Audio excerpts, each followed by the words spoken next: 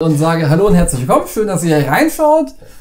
Karl, Flo und ich sind wieder da. Es ist jetzt nicht der nächste Teil des Top 100. Wir stellen euch quasi unsere Essen-Vorfreude-Liste vor. Welche Spiele sind es, die rauskommen, auf die wir uns am meisten freuen? Und ähm, die Neuheitenliste ist ja auch schon da, die ist auch nicht ganz so lang wie sonst immer, äh, aber da sind eben auch viele Spiele bei, die vielleicht auch einfach nur Zweitauflagen sind oder die wir vielleicht auch schon gespielt haben. Die habe ich jetzt persönlich bei mir nicht drin. Das heißt, ich werde wahrscheinlich irgendwann nächste Woche auch nochmal ein Video machen, so die Top 20 Neuheiten, die ich schon gespielt habe. Bei mir sind jetzt aber wirklich nur Spiele drin, auf die ich mich freue. Daher sage ich jetzt, das Video wird auch kürzer als unsere Top 10 Listen, weil ich kann zu den meisten Spielen gar nicht so viel sagen, außer es ist da und ich freue mich drauf. Ich weiß nicht, was bei euch? Ich habe äh, ungefähr so viele Seiten wie in der Top 100. Ja, das sieht auch genauso unleserlich aus. das ist richtig. Ich ähm, guck mal heute, wie das so ist, in Flo's Haut zu stecken. Also erwartet spannende Hintergrundinformationen von Karl und irgendwie so ein bisschen hin und her favorisieren von Ben und mir. Richtig. Ne? Genau, weil ich bin in dieser Runde eindeutig als der Hintergrund mit den meisten Hintergründen bekannt. Du hast auf jeden Fall der am tiefsten drinsteckt. Sagen, du hast auf jeden Fall eine kleine Arbeit dazu geschrieben. Ist ja hier professionelle Arbeit, ne? Ist ja, ja nicht zum Spaß. Aber es ist natürlich schon ein bisschen kurios, oder? Essen, alle in äh, der großen Vorbereitung, in der Vorfreude, endlich gibt's wieder eine Messe und dann guckt man rein ins Netz und sieht, der Verlag ist nicht da, der Verlag ist nicht da, der Verlag ist nicht da und die Liste insgesamt ist die irgendwie ist ein Drittel nur so groß, aber trotzdem keine Sorge, es ist jetzt nicht so, dass wir hier sagen, und Platz zwei ist Phase 10 Second Edition, ja, also ne, es wird nicht schlimm. Es sind trotzdem ein paar geile Highlights dabei, aber es sind natürlich auch ein paar Spiele, die wir jetzt nicht dabei haben, weil wir wissen, sie kommen erst ja, wann kommen sie? 22, Jahr, 23 also vielleicht erst, ne? Nicht nur eine Essenliste, sondern so alles, was im Herbst noch rauskommt, worauf wir uns freuen. Du hast mir meinen Platz 10 versaut. Phase 10, Second Edition? Ich wusste es. Ich habe es gelesen gerade eben. Du Lügner. Ne? Also, jetzt hast du dich enttarnt. Ja. Das konntest du nicht lesen. Also, es geht jetzt los mit ähm, ja, Highlights letztendlich, wo wir uns drauf freuen und wo wir so ein bisschen ein paar Informationen dazu haben. Entweder sagt ihr, geiles Spiel, schreibe ich mir auf meine Liste, oder ihr sagt, um Gottes Willen, was sollen wir denn damit anfangen, ja?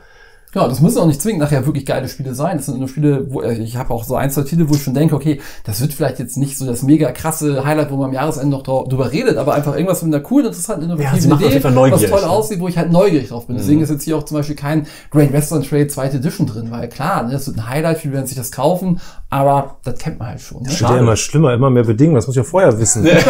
muss was Neues dabei sein? Und bei Platz 10, Karl. Ja, ich rede bei Platz 10, Great Western Trade. Genau. Ich habe ähm, so halb untergebracht. So halb, ja. mhm. Mal gucken. Ich würde sagen, dann fangen wir mal an. Und Flo wollte auch, dass wir halt das alles geheim halten und unsere Listen vor nicht verraten, weil, Karl, äh, weil Flo mag Überraschung. Also Flo, deine Nummer 10?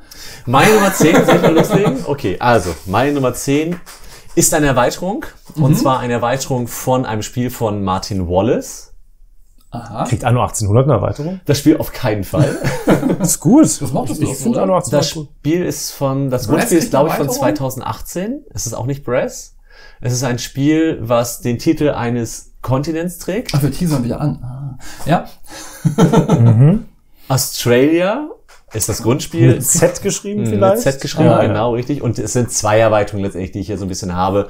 Denn es kommt einmal die Erweiterung Die Rache der großen Alten raus okay. und die Erweiterung Tasmania. Ich wusste überhaupt nicht, dass es eine Erweiterung bekommen soll. Ja, ja. und schon hat das mit der Überraschung geklappt, genau. Was sind das? Also das erstmal, Grundspiel noch nicht gespielt. Das sind zwei Erweiterungen, ähm, die beim Schwerkraft Verlag rauskommen. Die eine Erweiterung ist ähm, für ein bis fünf Spieler, so wie das Grundspiel auch funktioniert, mhm. dauert 45 bis 150 Minuten okay. und funktioniert jetzt so. Normalerweise haben wir ja hierbei jeder Spieler baut sich erstmal in seine Eisenbahnlinien rein, ne, und dann kann man Farmen bauen und Siegpunkte haben und so. Und dann irgendwann wachen die großen Alten auf, im Inneren des Landes letztendlich, und man kann die auch einsetzen so ein bisschen gegeneinander natürlich, indem ich da mal irgendwen aufwachen lasse schon mal, wo so eine gegnerische Farm in der Nähe ist und dann bewegt sich das was. Aber die kämpfen halt auch gegen uns. Ne? Das ist auch so, die wachen halt auch auf und bewegen sich dann und zerstören unsere Sachen und kriegen dafür Siegpunkte, kriegen Siegpunkte, wenn sie nachher noch da sind. Und das heißt, es kann am Ende des Spiels können auch die großen Alten gewinnen. Ne? Und mhm. wir verlieren. Jetzt hier bei der ersten Erweiterung ist es halt so, jemand mhm. spielt die großen Alten. Aha, da kann man sagen, einer gegen viele. schade, weil das ist natürlich ein ganz geiler Mechanismus. Ne, Von ne, semi-kooperativ zu genau, einer gegen viele. Dass das gesteuert wird. Aber vielleicht ist es ganz interessant, in meinem Fall war es bei diesem semi-kooperativen semi-kooperativen ein bisschen schade, dass man gesagt hat, ach, warum machen sie jetzt diesen Move? Oder das ist sehr schade, dass da jetzt nichts passiert. Ne, so eine kleine Glückskomponente, die beim Spiel dabei ist, die jetzt rausgenommen wird und die halt durch einen Spieler ersetzt wird. Mhm. Und das könnte halt ganz nett sein generell dieses Spielprinzip einer gegen viele ist vielleicht nicht mehr ganz so up to date, aber trotzdem könnte es interessant sein. Nachfrage, würdest mhm. du einer gegen viele oder bleibt es auch dabei, dass von den anderen auch jeder nur einzeln gewinnen kann? Äh, das weiß ich nicht. aber könnte ich mir vorstellen letztendlich, dass es hier einer gegen alle ist. Ne? Aber ich habe es tatsächlich nicht rausgefunden. Das wird auf jeden Fall spannend. Und das andere, Tasmanien? Genau, das zweite, Tasmanien, ganz kurz, das spielt jetzt in Tasmanien selbst, geht davon aus, dass wir den Kampf in Australien verloren haben gegen die großen Alten und Also jetzt andere setzen wir ihn Karte. in Ja. Tasmanien fort, andere Karte, Kleiner dann offensichtlich. 30 bis 90 Minuten, auch nur kürzer und äh, von der Spielanzahl weiß ich nicht genau, es könnten weniger Spieler sein, auf jeden Fall auch. Ah, so ein bisschen eine Express-Variante. Genau, richtig. Ah. Ne? Gut, ja, Interessant. mein Platz 10. Dann machen dir aus? wir wahrscheinlich eine Reihe weiter. Ja. Und äh, mein neues Spiel für Essen ist äh, von 2017. ist so. Und es, ähm, ich will gar nicht so groß drum rumreden. Ich wette, dass ihr das beide davon noch nichts gehört habt. Mhm. Äh, Du höchstens, weil ich es dir gegenüber erwähnt habe. Und du hast es garantiert schon wieder gelöscht. Natürlich. Ähm, es heißt Testament oder Testament. Und es wird auch nicht auf Deutsch rauskommen, sondern es erscheint jetzt auf Englisch. Es ist im Original ein japanisches Spiel. Okay. Ein äh, Spiel von dem Entwickler mit dem äh, Künstlernamen Kuro oder Kudo, der äh, Yasuki Kuroda mit vollständigem Namen heißt. Der ist so ein Indie-Designer wohl. Weiß nicht, ob einem von euch beiden mal was von seinen Spielen über den Weg gelaufen ist. sind so kleinere Sachen, habe ich von aufgeschrieben. So ein Selbstverlegender, von dem auch nicht um die Sachen rüberkommen. Das Ding hat so einen typischen Anime-Look. Also Nichts ich habe mal so mal, war richtig was hier raufgetan, äh, Okay. Testament. Aber warum tue ich das? Ich habe ja sonst solche Sachen auch nicht unbedingt in der Liste. Das ist ein kooperatives, kartenbasiertes Monsterkampfspiel. Also ne, irgendwie einer spielt den Krieger, ein anderer den Priester, irgendwie ein Magier oder was auch immer. Man sucht sich halt aus, ähm, ich glaube, sechs verfügbare Rollen gibt's, äh, jeweils einen aus und hat dann so ein Deck mit Fähigkeiten und tritt dann gegen eine Reihe von normalen Monstern an und am Ende gegen einen Bossmonster. Kämpft er der Reihe nach durch. Und das Interessante ist halt, dass es ein, das Kampfsystem so typische MMO-Mechaniken drin haben. Es hat zum Beispiel Aggro als Wert, also sprich, der Tank, der Krieger kann eben dafür sorgen, dass er angegriffen wird, weil er es besser aushält und damit verhindern, dass der Heiler, der durch seine Heilaktion irgendwie seine Aggro erhöht hat, also seinen Aggressionswert gegenüber dem Monster, dass der nicht äh, zu Brei geklopft wird und solche Geschichten. Und du suchst halt aus, welche Fähigkeiten nimmst du mit, also wie stellst du dein Deck, sage ich mal, zusammen, was vor dir ausliegt, die Fähigkeiten, die kannst du halt aktivieren, aber ne, was aktiviert ist, ist erstmal weg, geht halt auf Cooldown. Alte WoW-Spieler werden sich auskennen. Und da gibt's wohl eine ganze Reihe, man kann entweder als Kampagne gegen die verschiedenen Monster kämpfen, oder eben auch als Einzelszenarien gegen die verschiedenen Einzelnen. Und es sieht halt aus mit ne, Einflüsse, wer das kennt, so aus dem Anime-Bereich, so ein Final Fantasy-Look oder ein Record of Lodos war. Und ähm, ja, ich weiß ehrlich gesagt nicht, ob wir dazu kommen werden, Also das du- richtig zu sehen. Das ist schon ein bisschen was Ausgefalleneres. Du überlegst genau. ja noch nach Essen zu fahren oder nicht? Ich glaube, Also, da musst du hinfahren. weil Da muss ich, ob sonst das kriegt das kann. nicht. Ja. Ähm, ich würde auch nicht damit rechnen, dass es davon eine englische, äh, eine deutsche Version äh, geben wird. Aber das klang einfach reizvoll, gerade für uns als alte MMO-Hasen, die damit ihre Jugend verschwendet haben. Mhm. Ähm, könnte das wirklich lustig sein, ein kooperatives Monsterspiel? Ich habe nur eine Frage. Gibt es Magier, die Feuerbälle werfen? Ja, Ah, dann, äh, sind sehr klassische Sachen. dann solltest du es wohl sagen. Ist doch lustig. Ist für ein bis vier Spieler. Wie gesagt, am besten eins. Das glaube ich, ja, ja. Das kann sein, dass das ein gutes Solospiel ist. Okay. Genau. Du? Ich, äh, meine Nummer 10 ist tatsächlich, ich glaube, eines von wenigen, nee, ich habe glaube ich, ich, oh, ich habe, na, mal gucken, wie viele Eurogames ich drin habe, aber normal sind ja nicht ganz so viele Ich meinen bin, ich bin gespannt. Ja. Aber ich habe tatsächlich ein Spiel, wo der Autor selbst sagt, dass es ein Expertenspiel sein soll und er bringt auch zuverlässig jedes Jahr eigentlich irgendwie eins äh, raus und manche davon sind auch in meinen All-Time Top 100 relativ weit oben gewesen. Mhm. Äh, zumindest, okay, ich hatte nur zwei Spiele von ihm, eins war aber glaube ich in den 20ern, steht das hier noch irgendwo? Nee. Das steht hier irgendwo, ja. Genau, das neue Spiel von dem guten Alexander Pfister und zwar Boom Darüber reden wir später noch. Darüber reden wir scheinbar später noch ein bisschen mehr. Wir haben das gar nicht erläutert. Wir ähm, wissen nicht exakt, was unsere Listen sind. Also, weil wir uns, ähm, wir mögen keine Koordination. Wir wirken auch gerne nicht so, als wären wir exakt vorbereitet. Bitte?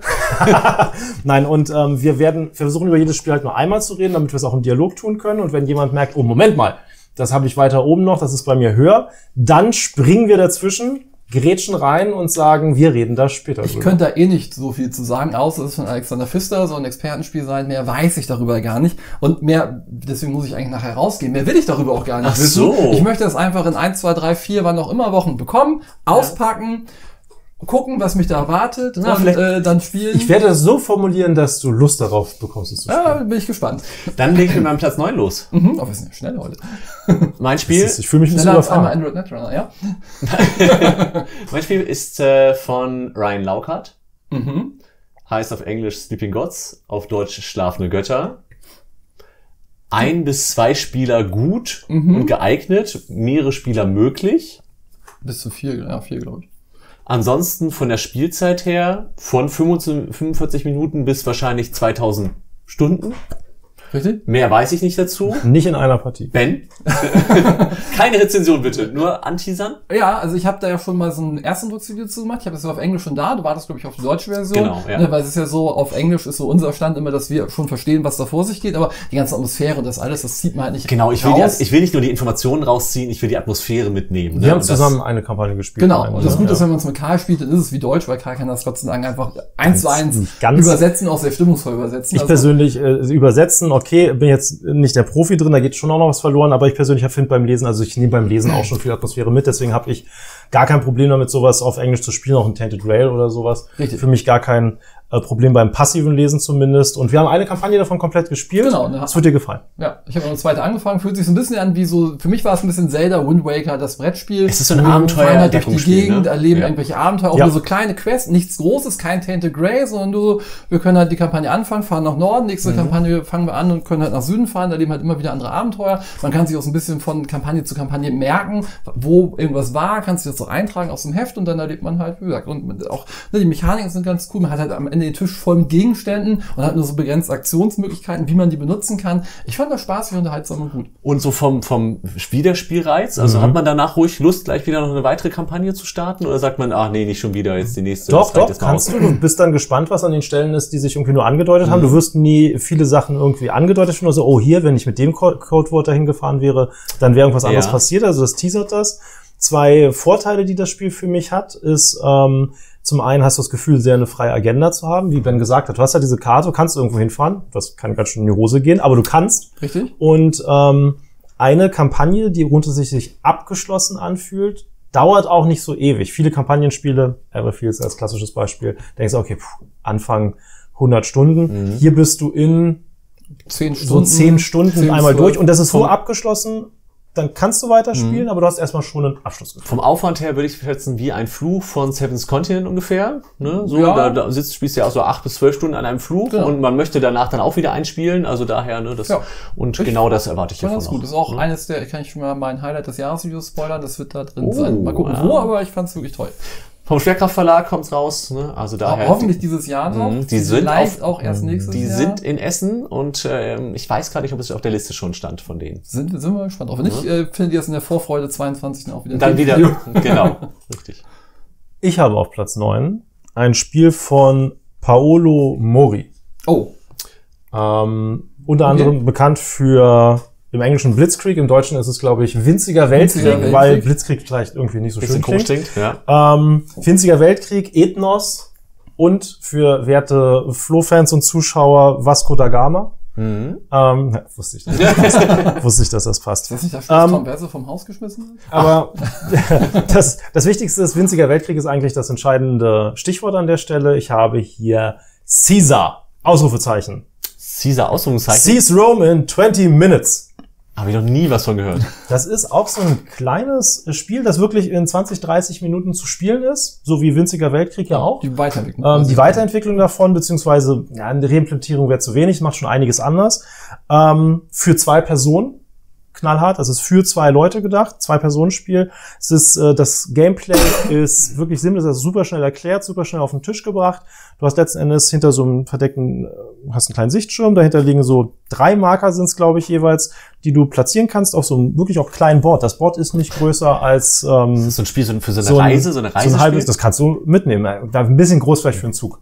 Auf jeden Fall, du hast eben diese Marker und eigentlich legt man abwechselnd nur die Marker dahin auf das Spielfeld. Und sobald ein Areal abgeschlossen ist, du legst immer auf die Grenzen Kampfstärken in die verschiedenen Richtungen, sodass du immer überlegen musst, du, machst, du manipulierst immer zwei Gebiete mit deiner Kampfstärke. Mhm. Sobald ein Gebiet abgeschlossen wird, sprich alle angrenzenden Slots belegt sind, wird geguckt, wer am stärksten ist. Es wird abgerechnet, derjenige kriegt die Punkte dafür und bekommt einen Sondertoken, das verschiedene Dinge tut. Okay, Und jetzt ja. kommt der Knackpunkt. Interessant. Wenn du das schaffst, legst du einen extra Token auf diesen frei werdenden Slot, weil du das Gebiet gewonnen hast.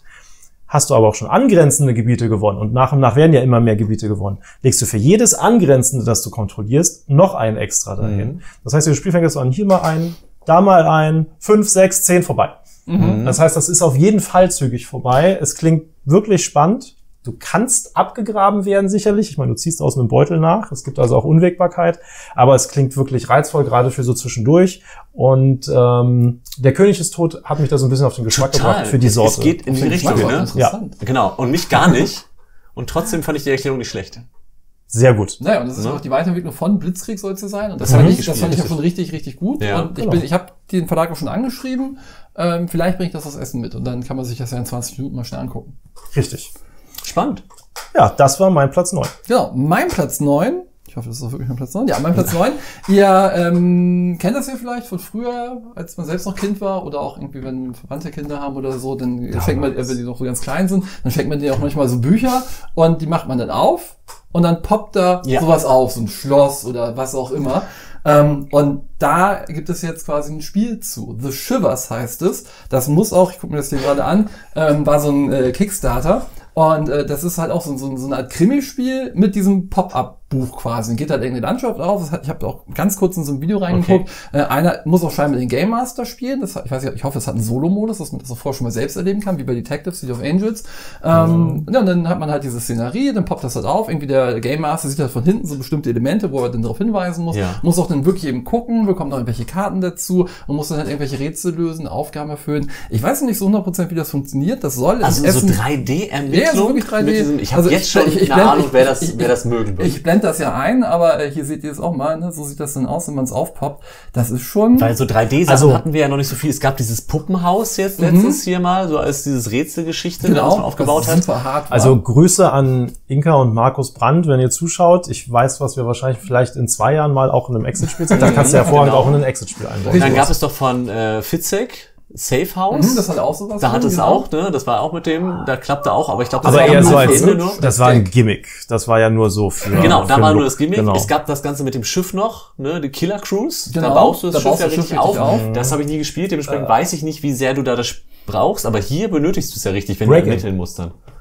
Ist das Breaking, das, wo du das auseinanderbaust nach und nach? genau. Das hat auch so eine 3D-Komponente. Allerdings nicht sowas mit Scherenschnitt. Richtig. Ich hoffe nur, es ist nicht so wie hier dieses äh, Mystery-Ding da, wo man, nee, war es Mystery, wo man Mystery das so hoch, wo man das so hochnehmen muss und da Wo muss man reingucken bei den Taschenlampen, reingucken, weil das war wie nett vom Ansatz. Wir haben das gespielt, ja, ne, das kannst du alleine spielen, vielleicht zu zweit und dann hat es auch wieder, also 3D kann toll sein, kann aber auch echt Ecken und Kanten haben, so dass es da nicht so richtig spielbar wird. Richtig. Also da, ich bin da sehr gespannt drauf. Ich weiß auch, äh, dass sich das auf jeden Fall Stefan holen wird, wenn das da ist. Das heißt, wir werden das auf jeden Fall dann zwei Wochen nach dem Spiel, wird Stefan auch wieder für eine Woche da sein. Dann werden wir auch da viele Neuheiten spielen und ähm, das wird dann auf jeden Fall auf dem Tisch landen und wir werden das spielen. Ich werde euch dann berichten, ob sich das lohnt oder nicht. Ich würde da erstmal nicht mit dem deutschen Vertrieb von rechnen, aber ähm, der wird, also wenn das irgendwie gut ist, wird es da bestimmt auch was geben. Das ist ja auch sowas, was sich irgendwie Ravensburg oder so oder Pegasus, das können ja ganz viele deutsche Verlage machen, aber da bin ich wirklich sehr gespannt drauf, wie das dann ist. Ja. Es gibt ein Spiel, das habe ich sehr, nein, das habe ich nicht sehr häufig gespielt. Das habe ich häufig gespielt, weil eine Partie dauert immer eine gewisse Zeit. Und es braucht eine hohe Frustrationstoleranz. Okay, ich komme Es später wieder. Ein sehr bedrückendes Szenario Ja, mit einem. Storybuch. Coimbra. Coimbra, genau. genau. Was ich noch nie gewonnen habe. Ja. Jetzt wisst ihr es. This War of Mine. ich wusste es vorher schon, aber ja. Genau. Jetzt bekommt This War of Mine noch eine Erweiterung. Wer will so etwas haben? Warum? Das hatte soll doch- man- scheinbar. Ich will es haben, genau. Das hatte doch schon Erweiterung. Kommt noch eine oder ist es eine von... Also ist Die das, richtige Erweiterung die, gab es, glaube ich, nie auf Deutsch. oder? Genau, das ist die erste Erweiterung von This War of Mine und die kommt jetzt auf Deutsch. Und Die da Kinder. wieder dieselbe Geschichte. Nee, und die Erweiterung heißt Geschichten aus den Ruinen. Ursprünglich Ah. von Galacta, jetzt bei Heidelberg. Also, das ist eine Erweiterung mit Modulen fürs Grundspiel, die man da einbauen kann. Weiterhin natürlich kann man da mit vielen Spielern spielen. Ich würde es immer empfehlen, entweder das Solo-Spiel oder zu zweit, ne, so wie wir Dawn of the Sets gespielt haben. Du Mhm, kannst auch zweit, zu zweit ja, einfach zu zweit dran sitzen und du willst jemanden haben, mit dem du darüber nachgrübeln kannst, weil es gibt so viele Entscheidungen. Das ist einfach schön. Man kann dann diese Texte sich gegenseitig vorlesen und dann kann man überlegen, letztendlich, was muss man jetzt machen? Geht man auf den Marktplatz, wo gerade eine Kiste liegt und da könnte was Wichtiges drin sein. Und du siehst vielleicht sogar die Kiste schon offen und irgendwas ragt raus, aber du sagst, es könnte auch eine Falle sein. Aber es ist so wichtig eigentlich für das Überleben deiner Leute. Ne? Durch das, ja, ja, durch das Diskutieren kommt auch mehr so dieses, überlegst auch über die Moral darin. Ich finde, Ja. ist mir aufgefallen, wenn man Sachen solo spielt, ähm, passiert es dann häufiger, dass man schon erstmal wirklich ein bisschen weniger strukturiert, weil der Wechsel zwischen den Personen fällt weg. Das heißt, es fließt so vor sich hin Mhm. und man rutscht dann schneller in so einen mechanischen Ja, Blickwinkel. dann, genau, weil es auch keine, kein so von wegen wirklich Ja, so ja sicher, dass du das machen willst. so, ne? Genau. Man hat keinen, es hinterfragt und dann kann das schnell so ein bisschen eintönig werden. Deswegen hast du recht. Also ich würde sowas immer zu, zweit zweit auch spielen. Allein das, also ich lese mir das halt durch, mhm, mhm, fertig, aber wenn ich es halt vorlese, wirklich auch mit so ein bisschen Rollenspiel, Ja. dass ich das versuche zum Ton und was so, anderes. das hat immer nochmal einen anderen Impact. Neue Karten, neue Miniaturen, neue Erzählungen, ein Modul mit einer Markt, mit einem Aus, äh, mit einem Markt mit einer Auslage letztendlich, ne, wo man so Waren dann irgendwie noch Mhm. sieht und noch so ein bisschen Schwarzmarkt haben kann. Ein Markt, Kanalisationsmodul, ja, ja, was ganz freaky sein soll. Du hast ja die Stadt, wenn du in die Stadt reingehst, sind ja überall Scharfschützen und Mhm. Soldaten und sowas. Dementsprechend probierst du jetzt deinen Weg runter in die Kanalisation, wo es ein bisschen sicherer ist, aber naja, natürlich kommen auf die Idee auch noch andere Leute. Richtig? Da gibt's eigene Ereignisse dann für. eigene Szenarien noch, fünf Szenarien habe ich gesehen und die Szenarien haben dann noch so geheimnisvolle Umschläge, wo wenn du ein Szenario geschafft hast, darfst du den Umschlag dann öffnen. Also ich bin super gespannt drauf. Mhm. Ich hoffe, dass ich irgendwann mal eins von diesen Spielen schaffen Guck dir, werde. wir haben einen Livestream gemacht mal oder ein Let's Play. Da siehst du, Guck wie man mal das macht. mal, Ja, ich es glaube, ich habe geschummelt. Aber es ist wirklich so, das klingt nach den meisten Sachen, die dabei waren bei der englischen Version, also beim Kickstarter. Das einzige ist, was du jetzt nicht erwähnt hast, da gab es auch noch, es gibt auch noch eine The Little Ones Erweiterung, wo man dann eben äh, Kinder als Das hast du erzählt, Überlebende das ist ja hat. dann noch übler letztendlich, ne? Aber das weiß ich nicht, Richtig. ob das ja auch dabei ist. Platz Nummer 8 bei mir ist ein bisschen positiver besetzt. Das ist Auch nicht kein. Wunder. Es gibt euch wenig Spiele, die. Es geht um die. Postapokalypse. Nein. Ähm, oh Gott, ja. Also, das Spiel, das ich als nächstes habe, ist von einem gewissen Adam äh, Kwapinski oder Kwapinski, bitte, bitte nicht umbringen, ähm, der unter anderem Nemesis gemacht hat oder Lords of Hellas Ja, oder Dark Ages Ja. hat er auch gemacht. Das wir auch bald spielen werden. Das wir auch bald spielen werden. Das kann in dieser Liste nicht vorkommen, weil es schon da ist. Richtig? Also bei mir schon, bei dir nicht mehr. ähm, und äh, dieses Spiel geht auch in eine Euro-Richtung von ihm. Es handelt sich um Origins First Builders. Okay. Und hier findet man wieder so einen Stil, den er wahrscheinlich auch mag. Denn äh, Lords of Hellas war ja so eine Mischung antike Technologie. Mhm. Und das ist hier auch ein bisschen. Hier geht es darum, dass irgendwie fortgeschrittene Zivilisationen auf die Erde kommt. Die, Techno- Techno-Griechen. die Techno-Griechen, das passt aber perfekt Ja, von der? Beschreibung Okay. her, ja, ja. Und ähm, die kommen hier auf die Erde und helfen der Menschheit eben ihren Anfang zu nehmen und eben so Monumente zu bauen. Da So, das Cover, Origins, ne? ihr seht das Cover auch gerade, da ist das auch wieder so ein bisschen, da wird die Pyramide gebaut, aber der obere Teil ja. schwebt und so weiter. Ja. So, aber warum habe ich das jetzt auf meine Liste genommen? Nicht nur wegen dem Cover, das habe ich beim späteren Spiel gemacht. Ähm, das hat halt auch Sehr wichtig, ne? Wie man sieht, dass hier gut reinpasst. Cover sind super wichtig, wobei Birmingham muss man mal wieder geben. Nur zum Hinstellen und zum Spielen. Ähm, also man kann dort, das hat, hat viele Elemente, wie zum Beispiel Dice Drafting. Also ich möchte jetzt nicht zu sehr den Coimbra-Vergleich ziehen, weil Coimbra fand ich nicht so gut. Aber man äh, draftet halt einmal Dice, wo, also Würfel, nee, im Englischen. Wir verstehen dich schon. Wo sowohl die Farbe als auch die Augenzahl wichtig ist, setzt die wiederum dann auf ähm, Feldern ein, um Aktionen auszulösen. Und da gibt's dann so schöne Sachen, die zusammenspielen, dass wenn man die passende Farbe zu dem Slot spielt, dann ähm, kann man extra Aktionen auslösen. Und da gibt's so ein schönes Rad. Es wird immer um eins weitergedreht, wenn du es einsetzt. Und du brauchst immer die Zahl, die da steht. Das heißt, du brauchst immer höhere Würfel, je später es wird. Hohe Interaktion. Also, Also du da kommt halt eine dann ziemliche gucken. Interaktion rein. Du kannst auch gucken, welche Würfel die anderen haben. Es äh, gibt auch eine Militärleiste zum Beispiel. Aber äh, was Leisten sind ja nicht so mein Ding, wobei die hier wohl auch noch eben Spezialeffekte Ich geben. verstehe nicht, was du meinst. Überhaupt gar nicht. So Ich, warte, ich warte auf die weiteren Leisten, Ja, dass irgendwie interessant wird. Leiste das Leistenspiel. ähm, die Leisten haben eben auch einen Effekt, da kannst du irgendwie besonders starke Fähigkeiten bekommen, dass deine Würfel immer besser sind zum Beispiel. Und du baust auch noch an der Stadt bei dir, indem du eben entsprechende Plättchen von Gebäuden kaufst, die dann eben entsprechende Effekte auslösen. Also es sieht aus nach einer interessanten Verzahnung Oh. von Dingen. Es ist nicht beige. Und gleichzeitig die anderen Spiele von dem Autoren sind halt auch interessant. Lords of Hellas war nicht perfekt, aber da war auch was drin, wie bei vielen Awaken Realms Spielen. Das ist kein Awaken Realms Spiel, aber daher kenne ich halt den Autoren. Manchmal ist man ja einfach schon neugierig, wenn der Autor was Neues produziert. Ne? Und wenn man dann genau. sagt, es geht in eine Richtung, die mich interessiert von einer Spielart. Es gibt natürlich auch, du hast Nemesis genannt bei dem Autoren, das geht ja in eine ganz, ganz andere Richtung. Richtig, ne? all seine Spiele, auch Dark Und- Ages. Klar, natürlich. Aber wenn, der, ne, wenn der Autor jetzt auf einmal irgendein so Stichspiel rausbringen würde, dann würden wir sagen, okay, Hammer, dass der Autor, oh Gott, das ist ein Stichspiel. Und wir würden es ganz, ganz schnell wieder zurücklegen und Ben würde es nehmen und würde es spielen, genau. Ich wollte gerade sagen, der spielt ja Aber alles. wenn es Spiele sind, ja, wenn es Spiele sind, na, leider nicht, ne, dann würde er endlich mal mit mir, aber Genau, also wie gesagt, da äh, bin ich nicht. sehr gespannt drauf. Ich habe nur, wie bei den meisten Sachen, oberflächlich über die Mechaniken geguckt. Das war ein Reiz drin, das Thema passt. Der Autor hat bisher nicht enttäuscht. Dark Ages haben wir noch nicht gespielt, mal gucken. Deswegen habe ich ihn auf die Acht genommen. Gut. Bei mir auf Platz 8 ist ein Spiel, das im Prinzip schon, ich glaube, 13 oder 14 Jahre alt ist, was jetzt eine Neuauflage bekommen hat, auch einfach, weil beim alten die Lizenz weg war. Dementsprechend ist es eigentlich auch gar nicht so spannend, weil ich kenne das Spiel an sich schon, aber ich bin gespannt, was sie halt neu daraus gemacht haben. Und zwar auf Englisch heißt es Unfathomable, auf Deutsch Ah. Abgrundtief, ist quasi die neue Version von Battlestar Galactica, da ist einfach die Lizenz weg.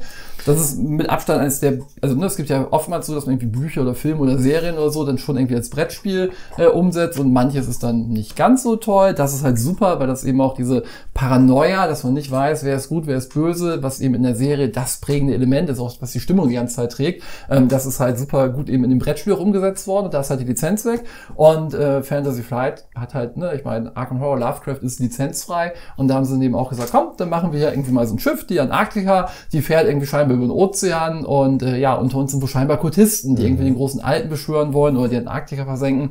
Es gab es vor kurzem noch nicht wirklich viele Infos dazu. Ich habe jetzt gerade mal geguckt, es sind jetzt irgendwie zwölf Videos aufgepoppt. Passt zum Thema natürlich aber schon irgendwie. Natürlich müssen wir ein bisschen aufpassen, dass es nicht zu viel Lovecraft-Geschichten gibt und immer nur irgendwie Arkham. Das ist also die Standardlizenz. Ne? Genau. Habt ihr eure Top 100 gesehen? ich frage nur. bald wahrscheinlich bei Ben auf dem Kanal die Top 100 äh, Lovecraft-Spiele. Wahrscheinlich, ja. Ist auf jeden Fall voll zu kriegen. Was ich dann interessant finde, ist, wir haben ja hier Willen des Wahnsinns stehen. Ähm, und da gibt es in einer der Erweiterungen ja ein Szenario, da machen die Szenarien oft auch irgendwie was Besonderes extra. Richtig. Und es gibt ein Szenario, das auf einem. Schiff spielt, das sinken kann. Und in diesem Szenario ist ein Verräter Verrätermechanismus Ah, drin. Interessant, ja. Komisch. Sollten wir noch mal spielen vorher vielleicht. Ich habe also das Gefühl, es gibt vielleicht sogar auch eine Geschichte oder Kurzgeschichte, auf die das indirekt zurückgeht. Weil Wahrscheinlich, ist kein Zufall, dass das so Ich finde es großartig, dass es rauskommt. Großer Battlestar Galactica-Fan bin ich Mhm. ja auch. Sehr, sehr schmerzvoll, dass es das überhaupt gar nicht mehr gibt. Das wird auch von vielen immer wieder gefordert und gewünscht, weil es einfach so viel Geiles richtig macht. Man braucht davon nicht zehn Spiele äh, irgendwie in seinem, also zehn Partien, sondern es reichen meistens schon ein, zwei. Dann hat man nämlich tolle Geschichten einfach, die man Richtig. erzählen kann. Ne? Und das hoffe ich mir auch. Es kommt gleichzeitig noch das Sing raus. Das Spiel habe ich ja schon, weil ich es mir mal aus Kanada mitgebracht habe. Aber es kommt hier jetzt auch noch raus. Das hat auch dieses Semi-Kooperative. Bei Battlestar Galactica war immer noch ein bisschen mehr drumherum. Schauen wir mal, wie das bei Abgrundtief hier ist. bei Lizenzspielen halt, ne, da, die muss man sich zulegen. Ja, die sind halt irgendwann weg. StarCraft, das. StarCraft wird es auch nie wieder geben und das Battlestar Chaos halt auch nie, egal wie sehr ihr es wollt. Und ich bin auch mal gespannt, weil Battlestar hatte ja durchaus so zwei, drei Probleme, so ein Tantation, die hatten dann in der Regel nicht mehr so die spannendsten Partien. Mal gucken, ob sie das hier gefixt haben. Wie gesagt, das sind jetzt irgendwie, es muss auf der GenCon dann auch wirklich zu kaufen gewesen sein, oder zumindest Rezensionsexemplare. Äh, vor einer Woche gab es noch irgendwie ein Video, jetzt gibt's zwölf und auch schon ein paar geschriebene Rezensionen. Die werde ich mir dann auch nochmal angucken. Wisst ihr, was bei so einem Spiel mal lustig wäre? Ne? Wenn, also du kannst ja schlecht den Spieler austauschen, weil es theoretisch auch ginge, ähm, wenn du das im Narrativ verbauen kannst, dass sich dieses Wesen anders ja tarnen kann und ein Gesicht übernehmen kann oder was auch immer, wenn zwischendurch einfach nochmal die Rollenkarten durch irgendeinen Effekt, wenn das jemand auslöst, wie zum Beispiel der, der enttarnt ist, nochmal durchgemixt werden Und und neu verteilt werden. Das heißt, derjenige, so. der jetzt enttarnt wurde, der nicht mehr so viel zu tun hat, könnte sagen, okay, in, in, in der Geschichte wäre es ja so, er ist enttarnt, also was versucht das Wesen? Ein neues Gesicht Klar. anzunehmen. Das gibt's bei Battlestar tatsächlich, wenn du doppelte deine, also du kriegst du zwei Karten, wenn du zweimal Zylon hast, du darfst halt deine Karte tauschen. Das kann ich natürlich auch machen, wenn ich nur einmal Zylon habe, dann traut da keiner mehr Flo, weil vielleicht habe ich ihm ja die zweite Zylonenkarte gegeben. Genau, siehst du, okay, da bin ich wenigstens nicht der Einzige, der auf solche Ideen kommt. Aber ja. Apropos enttarnt. Um Enttarnung geht's auch bei meinem Spiel. Und zwar ist es der siebte Platz. Wir sind im Jahre 1977. Wir sind in Wien. Es wurde ein Amerikaner ermordet. Und äh, ein Team aus Polen rund um Portal Games schickt uns auf Ermittlungen. Wir sind bei Vienna Connection. ja, wie geil, dass es da jetzt noch eine dritte Kampagne gibt, endlich, ja. Wie geil, dass wir da später drüber reden. Ja, sorry. gut. In Ordnung. Wie ist es denn mit deinem Platz 7? Auf meinem Platz 7 ist etwas, wo ich mir sicher bin, dass wir da jetzt drüber sprechen werden. oh, ich habe eine Ahnung. Ich habe ein Spiel von Wo du ähm, drüber sprechen wirst, ja. Nee, keine Sorge. Eine neue das- Netrunner-Folge oder sind wir bei Imper äh, bei, Schön bei wär's. Jung? Hier Wizards und Asmodee, krieg das mal irgendwie zusammen. Oder hier Asmodee, mach einfach mal nur Netrunner. Ich, da muss nicht, nee, mach nur Android, muss nicht Netrunner hinterstehen. Themenwechsel. Themenwechsel. Das äh, Spiel ist von einer Autorin, die wir auf jeden Fall auch schon persönlich kennen.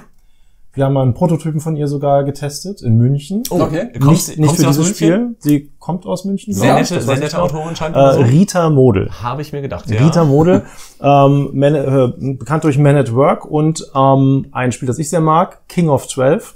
So ein, das ist wirklich so ein kleines Spiel, ne? super fix erklärt, innerhalb von fünf Minuten gespielt. So, simpel, einfach, ah, ich find's einfach so elegant. Doppelt schließt sich aus, deine Zahl muss höher sein, außer die Karte sagt was anderes. Die Karten auch simpel, aber elegant. Einfach so ein elegantes Design. Also wirklich, hat mich da wirklich gut abgeholt. Ich habe jetzt ungefähr zehnmal wirklich gesagt, aber wirklich. War ja auch wirklich in der Top 10 2020. Es war auch in meiner Top 10 2020 und davon kommt jetzt Council of 12. Das wird ein kooperatives Spiel, das aber auch diese Form der Mechaniken, nehme ich mal stark an, integriert, wo man zusammen einen Würfel in der Mitte irgendwie den Zahlenwert auf einen bestimmten Wert manipulieren will.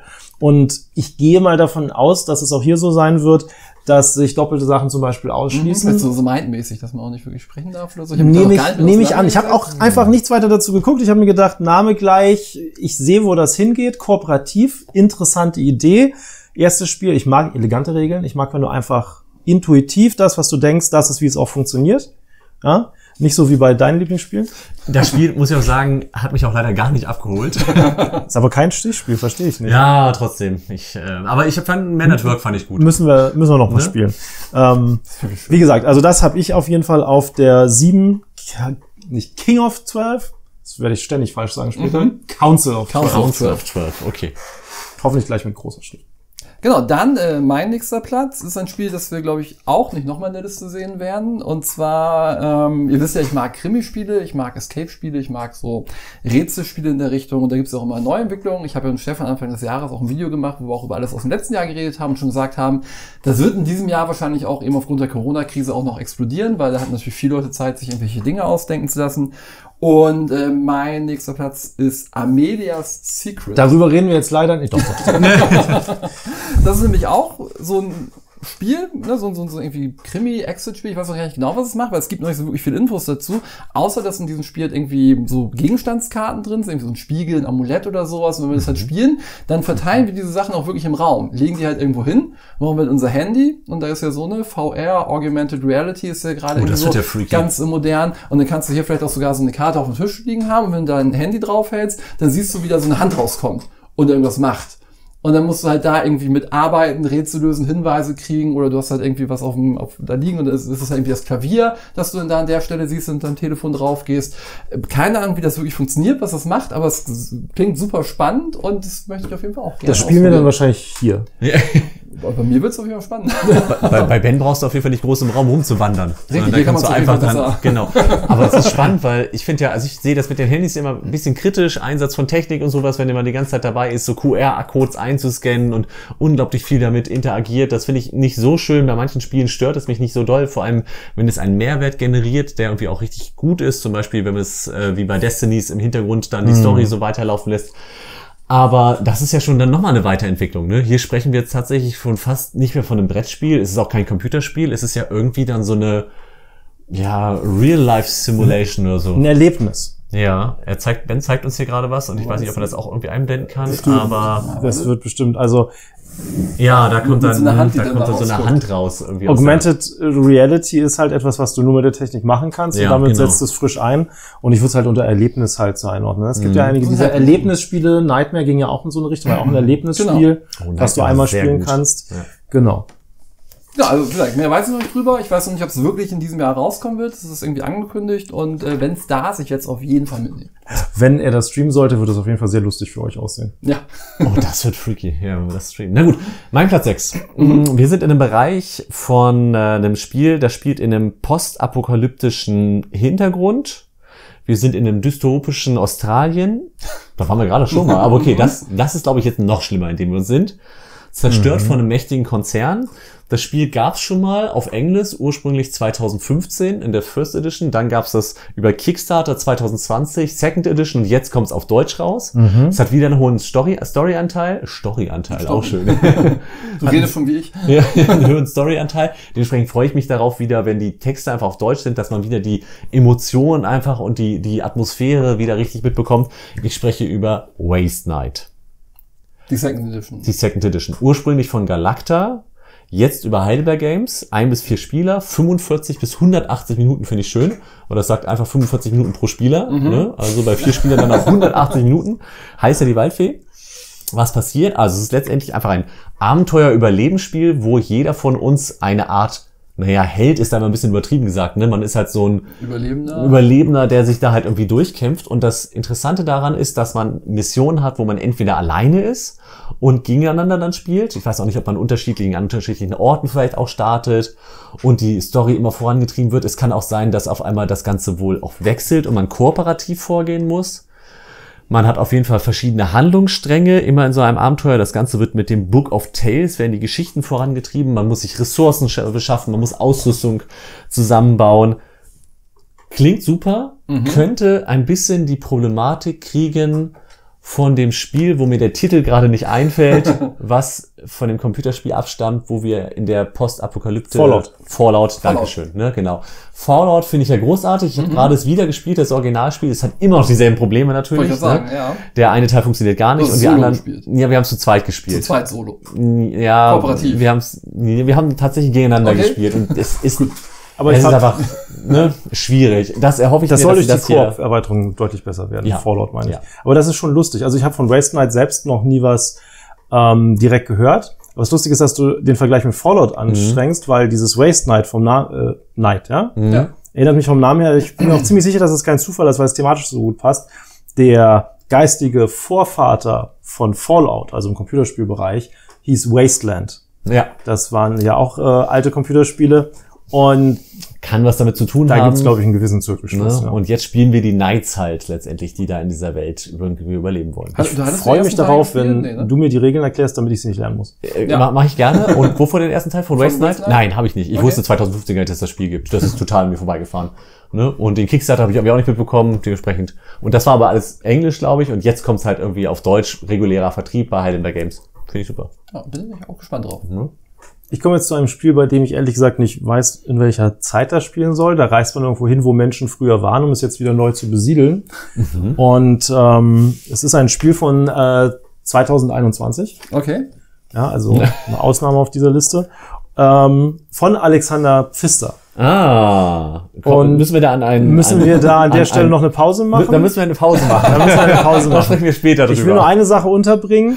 Ähm, das ist auch mein Platzhalter zum Teil mit für Great Western Trail zweite Edition. das kannst du erzählen. Auf die bin ich sehr gespannt auch. Aber das machte mir zu wenig neu in dem Sinne. Es integriert ja nur ein ganz kleines bisschen aus der Erweiterung, ähm, als dass ich das in die Genau, Liste hätte mit reinnehmen Argentina wollen. und New Zealand interessant, aber es kommt ja erst ein Jahr später. Genau, richtig. Ich finde es super, dass sie bei so einem Geilspiel eine neue Auflage rausbringen. Ich habe nur irgendwie gehört, dass es extrem teuer sein soll, weil das Originalspiel kostet mittlerweile ja irgendwie so 40 Euro, Mhm. glaube ich.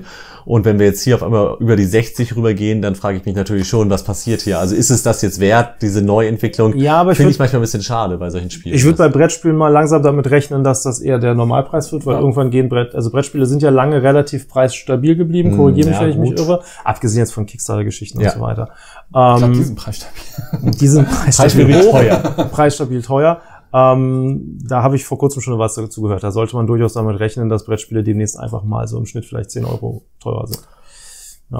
ist schon ganz schön was, aber natürlich letztendlich, wenn es die Qualität dann auch wert ist, aber bei dem Spiel, was es halt schon gibt, wo ich dann nur noch mal kurz drüber gearbeitet habe, habe die Qualität der Materialien vielleicht ein bisschen verbessert. Wenn da du es schon einen hast- Aufpreis habe von 50, 80 Prozent, dann ist es schon ziemlich hart. Wenn du es schon hast, brauchst du es sicherlich nicht, außer du willst, dass es mit den beiden weiteren Versionen, die dann kommen, im Schrank vernünftig aussieht, weil homogen. Richtig? Ähm, aber wenn du es noch nicht hast, erstens wirst du die andere immer schwieriger kriegen und zweitens ist es schon die wertigere als allein die Double-Layer-Boards. Ne? Ja, ja, natürlich, klar. Ne? Aber es sind bis jetzt nur Gerüchte. Ich hab's noch nicht, ich weiß es noch nicht. Ich werde nochmal, also bei meinem nächster Platz, da wird es auch gleich einen Stopp geben, weil das bestimmt noch in der Liste vorkommen wird. Habe ich im Vorgespräch schon mitbekommen. Aber da habe ich auf jeden Fall bei dem ähm, Autor auch schon hier in Göttingen im Keller gesessen. Stopp. habe Funkenschlag zu sieb gespielt. Der Keller war krass, sieht größer aus Stopp. als die äh, Spieleburg von der Spielesammlung her. Stopp! Und äh, ich kriege immer Hunger, wenn ich an das Spiel denke. ich auch. Ich, wie, wie, Bevor wir jetzt noch Beef haben, deswegen. Ah, ich habe keine Ahnung, worüber er spricht. Sprechen wir über unseren Platz 5. Genau, also ich verrate den Titel jetzt noch nicht, wenn wir gleich machen, wenn er bei Karl kommt. Wir sprechen über meinen Platz 5, wir sprechen über Karls Platz 6 und wir sprechen über Bens Platz, ich glaube 9 oder 8. Sprechen wir über Boon Lake. ah, nee, das habe ich doch nicht. Warte. Das war's gar nicht. Das war's gar nicht. Ups, äh, ich muss nochmal zurück. Also Alexander Pfister hat ein neues Spiel rausgebracht. Es hieß wohl mal irgendwie, dass er gesagt hat, er möchte jetzt eher so ein bisschen in Richtung Kennerspiele gehen. Und darum hat er jetzt Boon Lake rausgebracht, was ein Expertenspiel sein soll. Finde ich super. Alex, mach weiter so. Ja, wir Naja. wollen mehr Expertenspiele von dir haben. Du jeden liegst Fall. mit ihm halt einfach auf einer Wellenlänge. Ach, total. Das ist so ein Spiel, wo ihr beide sagt, so ein Kennerspiel und Ben und ich, wir sitzen ungefähr so da. Ja, das, das, das glaube ich nicht. Ähm, ein bis vier Spieler, circa 120 Minuten. Wir siedeln am Ufer des Sees Boon Lake. Mhm. So, das ist der Einstieg. Was wollt ihr dazu noch sagen? Ben oh, will ja nichts so, hören. Jetzt fühle ich mich. Äh, stimmt, Ben weiß Ne? einfach nichts. Der Genau. hat bloß gesagt, ich bin Pfister-Fanboy. Genau, was absolut legitim ist, wenn man sich die Schaffensreihe äh, Reihe anguckt. Viele gute Spiele. Ähm, Gut, ich mag nicht alles, aber das Ich habe bisschen nachgeschaut, um, weil wenn ich schon sage, ich freue mich da drauf und gerade ein bisschen weiter oben sollte ich was dazu sagen. Es ist sehr grob und äh, kann auch sein, dass es nicht stimmt. Es ist dazu sehr wenig bis jetzt zu finden. Mhm. Es gibt die Anleitung wohl schon, aber ansonsten nichts. Ich habe ein Foto vom Spielfeld gefunden. Genau, es gibt die Anleitung Ähm, schon runterzuladen In tatsächlich. den ganzen zehn Minuten, angucken, die ich danach geguckt habe. Die haben wir noch nicht gelesen. Richtig, ich habe die noch nicht gelesen. Aber zwei Elemente, die jemand anderes betont hat, der irgendwie die Gelegenheit hatte, dreiviertel Spiel mit ähm, Herrn Pfister auch eins, eins zu spielen, war, ähm, dass es ein bisschen kom ähm, Elemente aus Great Western Trail und Cloud Age tatsächlich kombiniert. Okay. Okay. In dem Sinne als, also du bestimmst wieder ein bisschen das Spieltempo, in dem, wo du aussuchst, wo du hingehen willst, in der Action Selection sozusagen. Das ist irgendwie so eine Leiste, ne? Und wenn du weiter oben irgendwie gehst, sind stärkere Effekte und du bestimmst auch, wann dies, das Scoring wieder ausgelöst wird. Wie genau weiß ich nicht. Und Cloud Age erwähne ich, weil du erinnerst dich an Cloud Age, wann immer du was gemacht hast, hast du in der Regel einen Nebeneffekt für den oder die Mitspieler ausgelöst. Und das soll es ja auch geben. Das ist eine Doppelaktion, von der ein Teil nur für dich ist und der zweite Teil Genau, auch für alle Mitspieler. Genau. Und das ist ja schon mal gut, weil wenig Downtime, selbst beim Spiel, wo ein bisschen mehr unterwegs ist. Und du bist interessiert auch daran, was der andere natürlich jetzt Richtig. macht, nicht nur von der normalen Hohe Interaktion, sondern Interaktivität. weil du auch gleich noch was in dein Spiel mit einbauen kannst. Also auch bei Concordia finde ich das immer toll. Oh, ich krieg was, ohne dass ich was mache. Ähm, und das zweite ist ähm, die Objectives. Also wofür gibt's Punkte im Spiel? Das ist halt erstmal immer was anderes. Und bei Terra Mystica zum Beispiel liegt das einfach aus und du musst gucken, wie mache ich das in jeder Runde. Oder bei anderen Spielen hast du ein privates irgendwie, das keiner sonst kennt. Hier kriegst du am Anfang, zwei glaube ich sind's zur Auswahl. Und dann suchst du eins davon aus und legst das eben dahin. Für jeden Spieler gibt's einen Slot. Bei weniger als vier Spielern wird der Rest zufällig aufgefüllt. Okay. Ähm, und dann entscheidest du auch noch, welches du in welcher Runde scorest irgendwie. Und je später du es machst, desto höher die Anforderungen, aber desto mehr Punkte Mehr gibt's Punkte, auch. ja. Also, ne, wieder so, wie das meistens im Euro-Bereich ist. Stellschrauben, aber interessante Stellschrauben. Thema klingt auch ganz interessant. Du baust auch was und das Aufbaugefühl mag ich ja auch immer sehr. Man schafft was Ähm, dann letztendlich, ne? Ja. Auf jeden Fall sehr gespannt. Pfister hat mich bis jetzt noch nie wirklich enttäuscht. Ich fand Manche alles richtigen super großen toll, Highlights, aber genau. Und das meiste gut. zumindest gut solide. Cloud Edge hat mich wirklich sehr abgeholt. Und leider inzwischen schon wieder raus aus der Wahrnehmung. Schade. Wie das manchmal so ist, ne? Ja. Ähm, mein fünfter Platz. Moment, ich glaube, Karl kommt erst mit seinem fünften. Ach, das war ja, genau. Das war mein fünfter. Ja, wir springen hier wild hin und her. Mein fünfter Platz ist, glaube ich, ein, den ich für mich alleine habe. Ich habe hier ein bisschen geschummelt. Ist kein irgendwie komplett neues Spiel oder sowas. Ich werde nachher nochmal schummeln. Sondern es ist ähm, eine Weiterführung eines Systems. Und zwar eines Systems, Eines das ihr auch schon Systems. gespielt habt. Das wird, das darf ich jetzt nicht sagen, das, klingt komisch. Das wird COC abgekürzt. Ähm, und ich habe das Grundspiel davon gespielt, Chronicles of Crime. Das fand ich okay. Viele Leute streiten sich bei Chronicles of Crime ja durchaus auch mal, wie viel Spiel ist drin. Ja, gerade Das beim Problem, Grundspiel, Ne? App und so. Genau. weil es viel App hat und so weiter. Das ist nicht so mein Ding. Mich hat das Grundspiel, ich fand das okay. Mich holen jetzt Standard-Krimi-Fälle irgendwie in der Gegenwart nicht Das so ab. scannst du immer alles, ne? Das ist doch das, wo man die QR Du scannst die und ganze sowas, Zeit. Ne? Ja. Genau, Du entscheidest im richtig, wo Prinzip, was du scannst. Ja, genau. Ja? Nee. Und jetzt ist es so, für mich war es so, die ganzen weiteren Auflagen, ähm, erst Noir, wo du dann so ein 20er Jahre, nee, ein 40er Jahre Detective warst, so Hardboiled, Privatdetektiv nach dem Krieg und so.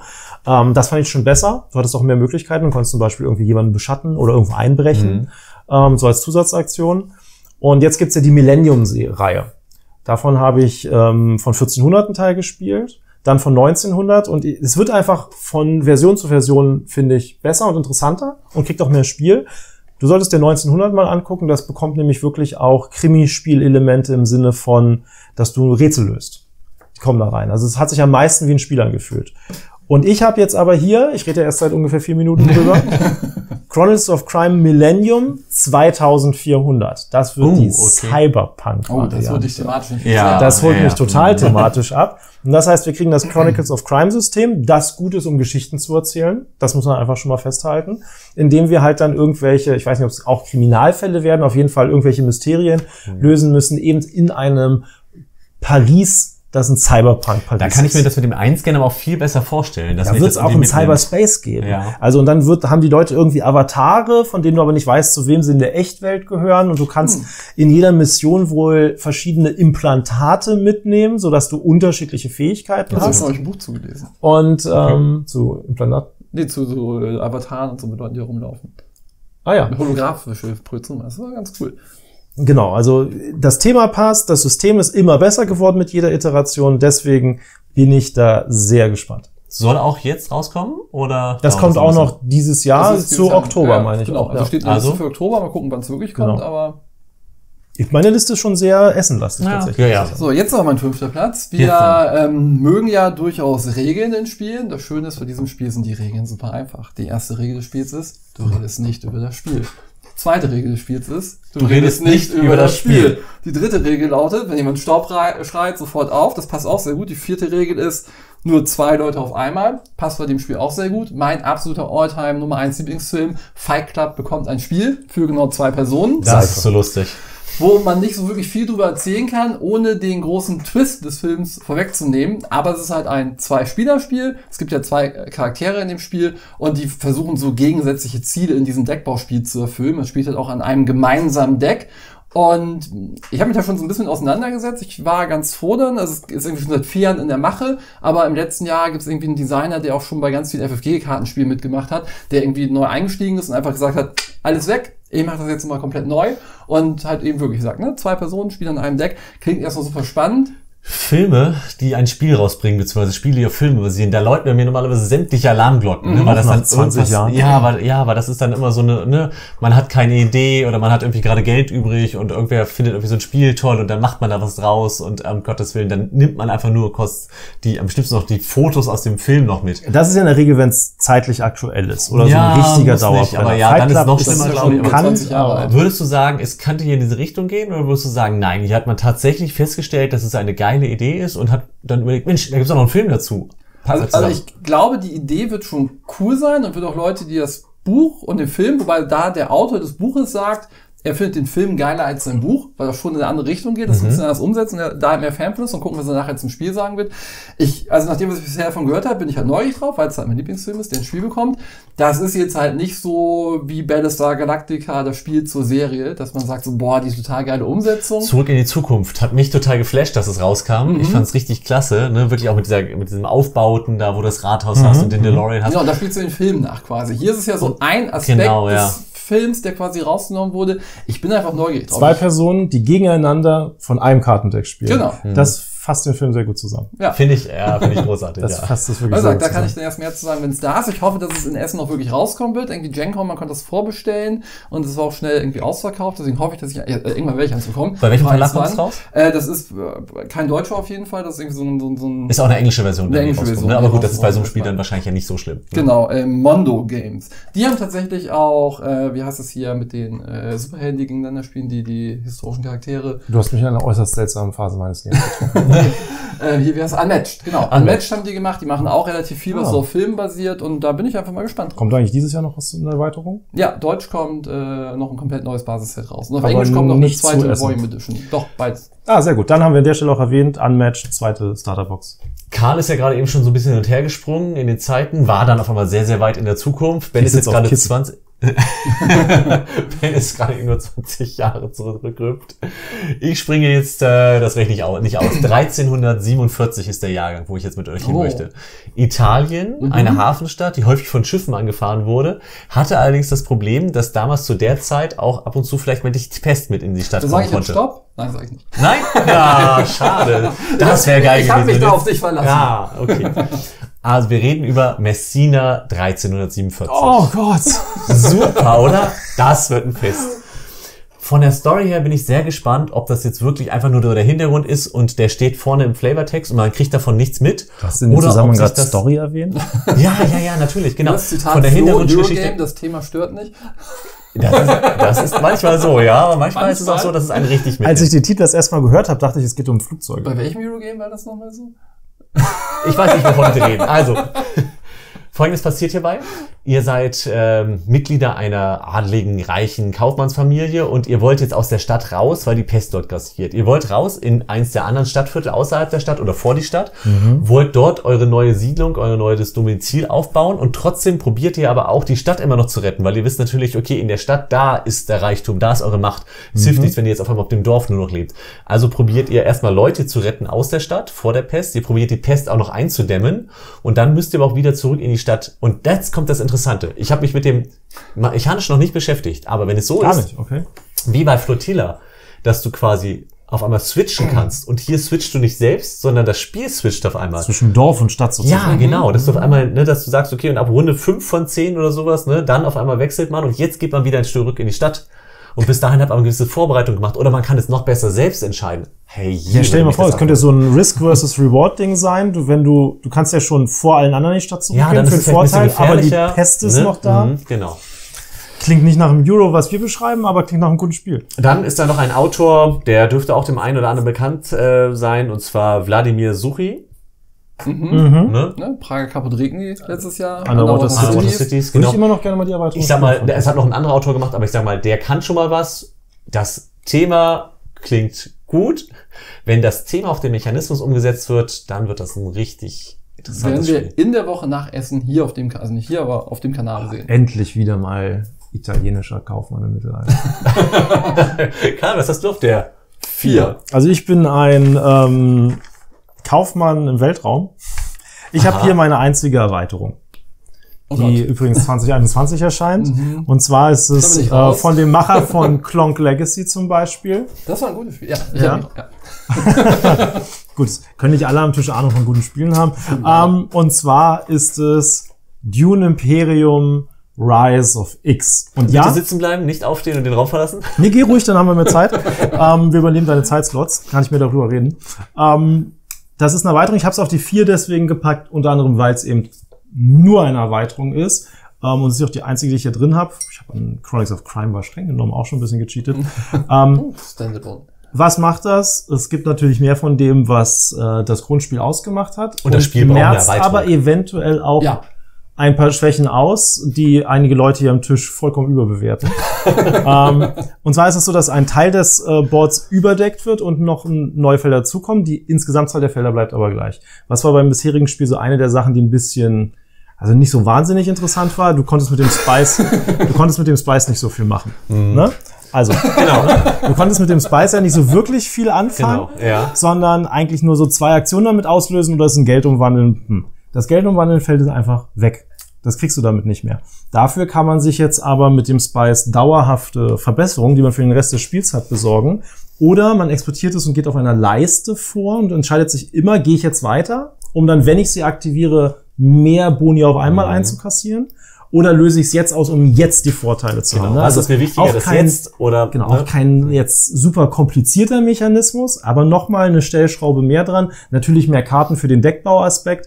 Der das manipuliert und ähm, ein paar langweiligere Felder, sag ich mal, in dem Landsratbereich, ähm, ne, der grüne Den ja kaum benutzt hat, wenn man Genau. wichtigen Felder. Bestimmt sagen, da gibt's ja zum Beispiel so ein Feld wie ähm, für Geld vier Truppen in die Garnison bekommen. So, das Genau. ist durchaus nicht ein dummes Feld, weil du dann unten, wenn du dann auf Dune arbeitest, immer diese zwei Truppen extra Du reinschieben kannst. kannst. Ist halt nicht so spannend. Das Feld zum Beispiel kommt weg und damit kannst du jetzt eine spezielle Truppe kaufen. Dreadnoughts. Dreadnoughts. Also haben genau. sie schon Ja. gemerkt, Genau. ist nicht so gut manchmal. Die, und die Dreadnoughts, die sind halt, das sind dann Einheiten, die eben zum Beispiel nicht wegkommen und wo du selbst wenn du normale Kämpfe gewinnst, Ort, diese, diese Ortsboni besetzen kannst für eine Runde. Also es kommen eben noch ein paar Sachen ran. Die Komplexität geht dadurch noch mal ein Stückchen hoch, denke ich. Ähm, das Spielgefühl war sowieso schon super. Und ich rede dieses Jahr bestimmt noch mal in anderen Videos darüber. Bestimmt. Ähm, bin ich sehr, sehr gespannt drauf. Freue ich mich sehr. Werden wir auch spielen auf diesem Kanal, vielleicht nicht mit Ben. Vielleicht nicht mit Ben lieber. Das Schlimme ist ja auch, selbst wenn das jetzt rauskommt und Karl sagt mir, das ist voll gut, dann hilft mir das nicht viel. Ah, wer weiß, vielleicht überzeugt es dich ja mit der Erweiterung. Mal gucken. Wahrscheinlich nicht. Ich denke auch nicht. So, mein äh, Platz Nummer vier ist auch ich, wahrscheinlich Standalone, aber es wird doch eine Erweiterung sein von einem Spiel, wo ich am Anfang des Jahres gar nicht wusste, dass es kommen soll. Es war auch immer da. Ich habe es gespielt, ich habe mich in meine Jugend zurückversetzt äh, gefühlt, ähm, wie damals so als ähm, Kind, Teenager, wo ich halt so Spiele gespielt habe wie irgendwie Day of Tentacle, Maniac Mansion und dann gab es halt Ki- Und da sprechen wir gleich drüber. Okay. dann gebe ich mal ab an Flo. Also wir, wir sprechen in einer kleinen Pause drüber. Wir Okay. machen erst noch kurz eine weitere Runde und dann könnte es sein, dass wir vielleicht drüber sprechen. Es gibt ein paar Doppelungen. Also. Ne? Genau, das ist einfach so großartig. Natürlich kommt es an. Ich pack erstmal meinen Tisch, äh, Platz drei auf den Tisch. Ne? Und das ist ein Spiel, das haben wir tatsächlich schon gespielt auf dem Kanal hier. Ben hat es schon. Ich habe es einmal schon spielen dürfen. Ich möchte es aber unbedingt mehr spielen. Ben gibt es aber verständlicherweise nicht her. Dementsprechend muss ich mir das selbst besorgen. Und zwar Die verlorenen Wörter. die verlorenen Wörter, ich empfehle euch das Video sehr, ja, das hat viel zu wenig Klicks dafür, weil es natürlich Wörter im Text drin hat und deshalb guckt es keiner. Wenn ihr mal ja. sehen wollt, wie Dave Ben richtig abzieht. Und ein taktisches Meistergenie ist. Ne? Und du Ja. machst ja auch eine sehr schöne Analyse mit einem gewissen, Ich habe alles gegeben. genau, richtig, ne? sollte man sich angucken. Nein, ich spreche über Mantis Falls. Interesting. Also wirklich ein hammergutes Spiel. Ja, das ja, richtig, sehr gut. Das richtig Spaß macht. Und zwar äh, folgende Geschichte. Ihr seid in einer Stadt, ihr seid ein Zeuge. Ihr müsst raus aus der Stadt. Ihr habt noch jemanden, der wird euch bekannt gemacht. Also ihr habt den auch an eurer Seite und es wird gesagt, das ist auch ein Zeuge. Der muss auch mit aus der Stadt raus. Und jetzt habt ihr in so einem düsteren Noir-Setting. Es was jeden regnet schon mal-. Ja, genau. Ne, die Straßen irgendwie scheinen so erst verlassen zu sein. Man kann zu zweit spielen oder zu dritt. Zu zweit hat man zwei Karten, die man zieht. Der eine ist ein Zeuge, der andere ist ein Killer. Oder auch ein Zeuge. Das sind insgesamt drei Karten, die man hat als Auswahl. Ne? Davon zieht man zwei. Man Genau. könnte es auch zu dritt spielen, dann hätte man vier Karten. Man weiß nie 100%, ob ein Killer dabei ist. Und das ist richtig spannend. Der Zeuge hat eine Karte, womit er den Killer zu 95% töten kann. Der Killer könnte was dagegen machen, aber muss halt nicht sein, dann stirbt der Killer. Dann könnte er dann sagen, der Zeuge kann ihn einfach umbringen, den Nachbarn. Nein, weil der Zeuge hat das Ziel, er muss mit dem anderen Zeugen die Stadt verlassen. Das heißt, man kann einfach nicht den anderen umbringen, so vorsichtshalber, sondern man muss ja sagen, äh, vielleicht ist das auch der Zeuge, dann müssen wir beide ja zurück. Der Killer hat natürlich das Ziel, dass der Zeuge nicht die Stadt verlässt. Das ist so spannend. Das ist halt ein Betrugs-Bluff-Spiel. Ein manchmal kooperatives Spiel. Ein manchmal kooperatives Spiel und wir haben eine Partie gespielt, Mhm. ihr habt vier Partien gespielt. Wahnsinnig gut von der Stimmung, macht richtig viel Spaß, kommt bei Schwerkraft raus. Und äh, da wir so gut befreundet sind, haben wir immer gedacht, der jeweils andere ist der Killer. Ich habe sechs Partien gespielt, ich war immer, immer der Zeuge. Ich weiß noch nicht, wie sich das Spiel als Killer anfühlt. Er hat mich auch, also ich war Zeuge und er hat mich gnadenlos umgebracht, Ja, weil er mir gut. nicht getraut er, er hat Zeuge gespielt und mich festgesetzt, dass ich mich nicht mehr bewegen konnte, ist alleine vorgelaufen. Ja, und ich so, das, ist, er hatte Argumente das macht man dafür. nicht. Nein, er hatte keine Argumente dafür. Oh doch. Sein einziges Argument war, ich glaube, du bist der Killer. In unserer hat Partie, in unserer Partie habe ich dich angegriffen und habe aber das so gut begründet, hoffe ich, Mhm. dass du trotzdem geglaubt hast, es, es ergibt ein bisschen Sinn, dass ich glaube, dass du der Killer bist und ich bin ein Zeuge. Flo hat die ganze Zeit gelogen, dass es gar nicht nötig war, weil er meinte, dann übe ich schon mal ins Lügen rein. Ja, ja, natürlich. Ich habe die ganze Zeit irgendwelche. Es ist auch schwierig natürlich, wenn du auf einmal punktuell dann lügen musst. Ich hatte Ne? nur gute Karten. Nee, ich kann Mantis. Mantis, Ja, genau. Mantis Falls ist, wenn man es das erste Mal sieht, also die Verpackung und so weiter und das liest, also die Beschreibung, Mhm. sehr atmosphärisch. Ja, sehr dann packst du es. Dann packst du es aus, siehst du die Karten, denkst du, okay, das wirkt jetzt erstmal relativ abstrakt tatsächlich. Karten Mhm. auslegen und so weiter.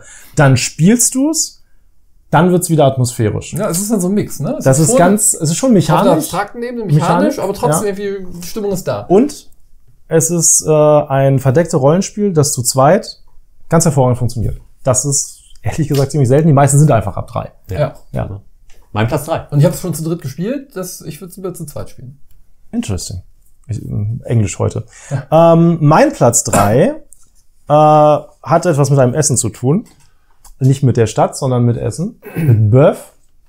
Bœuf Wurf? Stroganoff. Ah. Muss ich äh, noch warten oder? Nein. Was ist gar nicht drin? Ich habe es gar nicht drin. Was? Ich habe mich hast darauf auf uns verlassen. Ich habe mich darauf ver- Ich kann Du doch hast ich darauf verlassen. nur zehn Spiele. Ja. Das stimmt, ja. Da Mein sechster Platz. Und du hast Genau. ungefähr in jedem zweiten Video angekündigt, dass du das, dich auf dieses Spiel freust. Also Das ist richtig, aber ich nicht, aber muss es trotzdem drin das lassen. Also wie Ben das schon angedeutet hat, es ist ähm, auch äh, Lokalpatriotismus. Mhm. Der Autor Andreas Steding kommt aus der Gegend, äh, dürfte euch aber trotzdem auch bekannt sein durch äh, Gugong als neuestes oder Genau. neueres Werk Ja. und der Klassiker von ihm ist Hansa Teutonica. Genau, Firenze Das- hat auch gerade eine Kickstarter-Edition Genau, also-.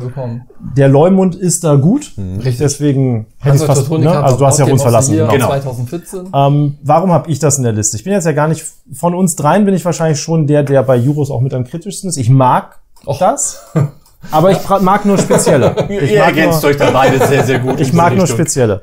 Und ähm, hier ist es so, das Thema finde ich ähm, eine angenehme Abwechslung. Mal gucken, wie sehr das dann rauskommt. Aber ne, es, wir gehen halt mal in Sibirien äh, des 16. Jahrhunderts ist es, glaube ich. Genau, die Zeit, die vor allen Dingen für das Wort immer, wahrscheinlich die russische Herrschaftsfamilie. Oh Gott, ich sage jetzt lieber nichts mehr. Inhaltlich Ähm, kenne ich mich damit nicht aus. aber ich glaube, dass das daherkommt und es geht halt darum, dass wir uns äh, Richtung Osten ausbreiten, ne? Fälle ähm, erbeuten. Ja, ich weiß, Fellhandel, aber wir sind im 16. Jahrhundert, ist ähm, und wir machen es nur auf Pappe.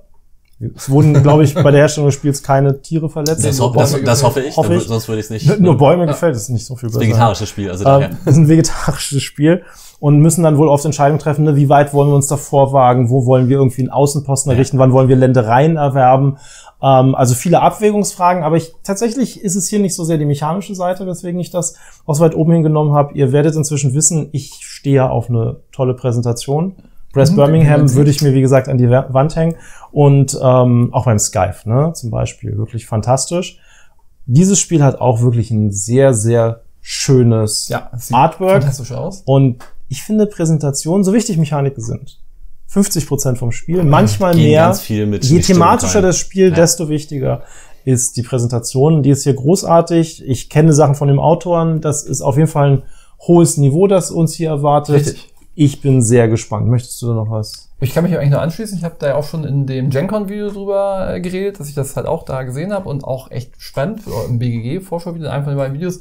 Ähm, ich bin da einfach, also es sieht interessant aus, auch ne, mechanisch soll das auch so eine ganz interessante Art verzahnt sein, wie man das auch nicht so aus normalen Spielen kennt, sondern dass es auch teilweise eben eine neue Art hat, über diese Mechanismen und Sachen, die man da machen möchte, nachdenkt. Vom Niveau her, maximal Kennerniveau oder eher höher? Also wenn dann ein höheres. Also es ich sieht schon wird sehr kein- komplex Ich glaube, es aus. wird kein Brecher-Expertenspiel sein. Es wird, glaube ich, so an der Grenze sein. Mhm. So früher würde man wahrscheinlich sagen Expertenspiel. Heute Heute, würden eher- manche Leute sagen, ja, gehobenes Kennerniveau. Ja. Ich glaube, das wird sich irgendwo, das, also es ist ist nichts, was ich, glaube ich, einem Flügelschlagspieler erstmal so in die Hand drücken würde. Glaube ich Hier nicht, nee. äh, spielst du, aber vielleicht eins, wo ich einem interessierten Flügelschlagspieler, wenn ich das schon kenne, sage, komm, ich kann dir das erklären und dann kannst du es mitspielen, Es wenn sieht- du solche Spiele Es sieht halt auch schon voller aus. Also auf dem Brett sind schon, da passieren mehr Dinge gleichzeitig als bei dem doch sehr klar lesbaren Flügelschlagbrett.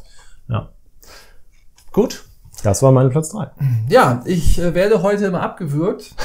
Und ähm, ich werde jetzt auch wieder abgewürgt über mein Spiel. Vermute ich einfach mal mit Kai gleich reden, weil es hat das gleiche Thema wie ein Spiel aus diesem Jahr, was ich persönlich eine mittlere Katastrophe finde. Ja, also wir reden gleich darüber.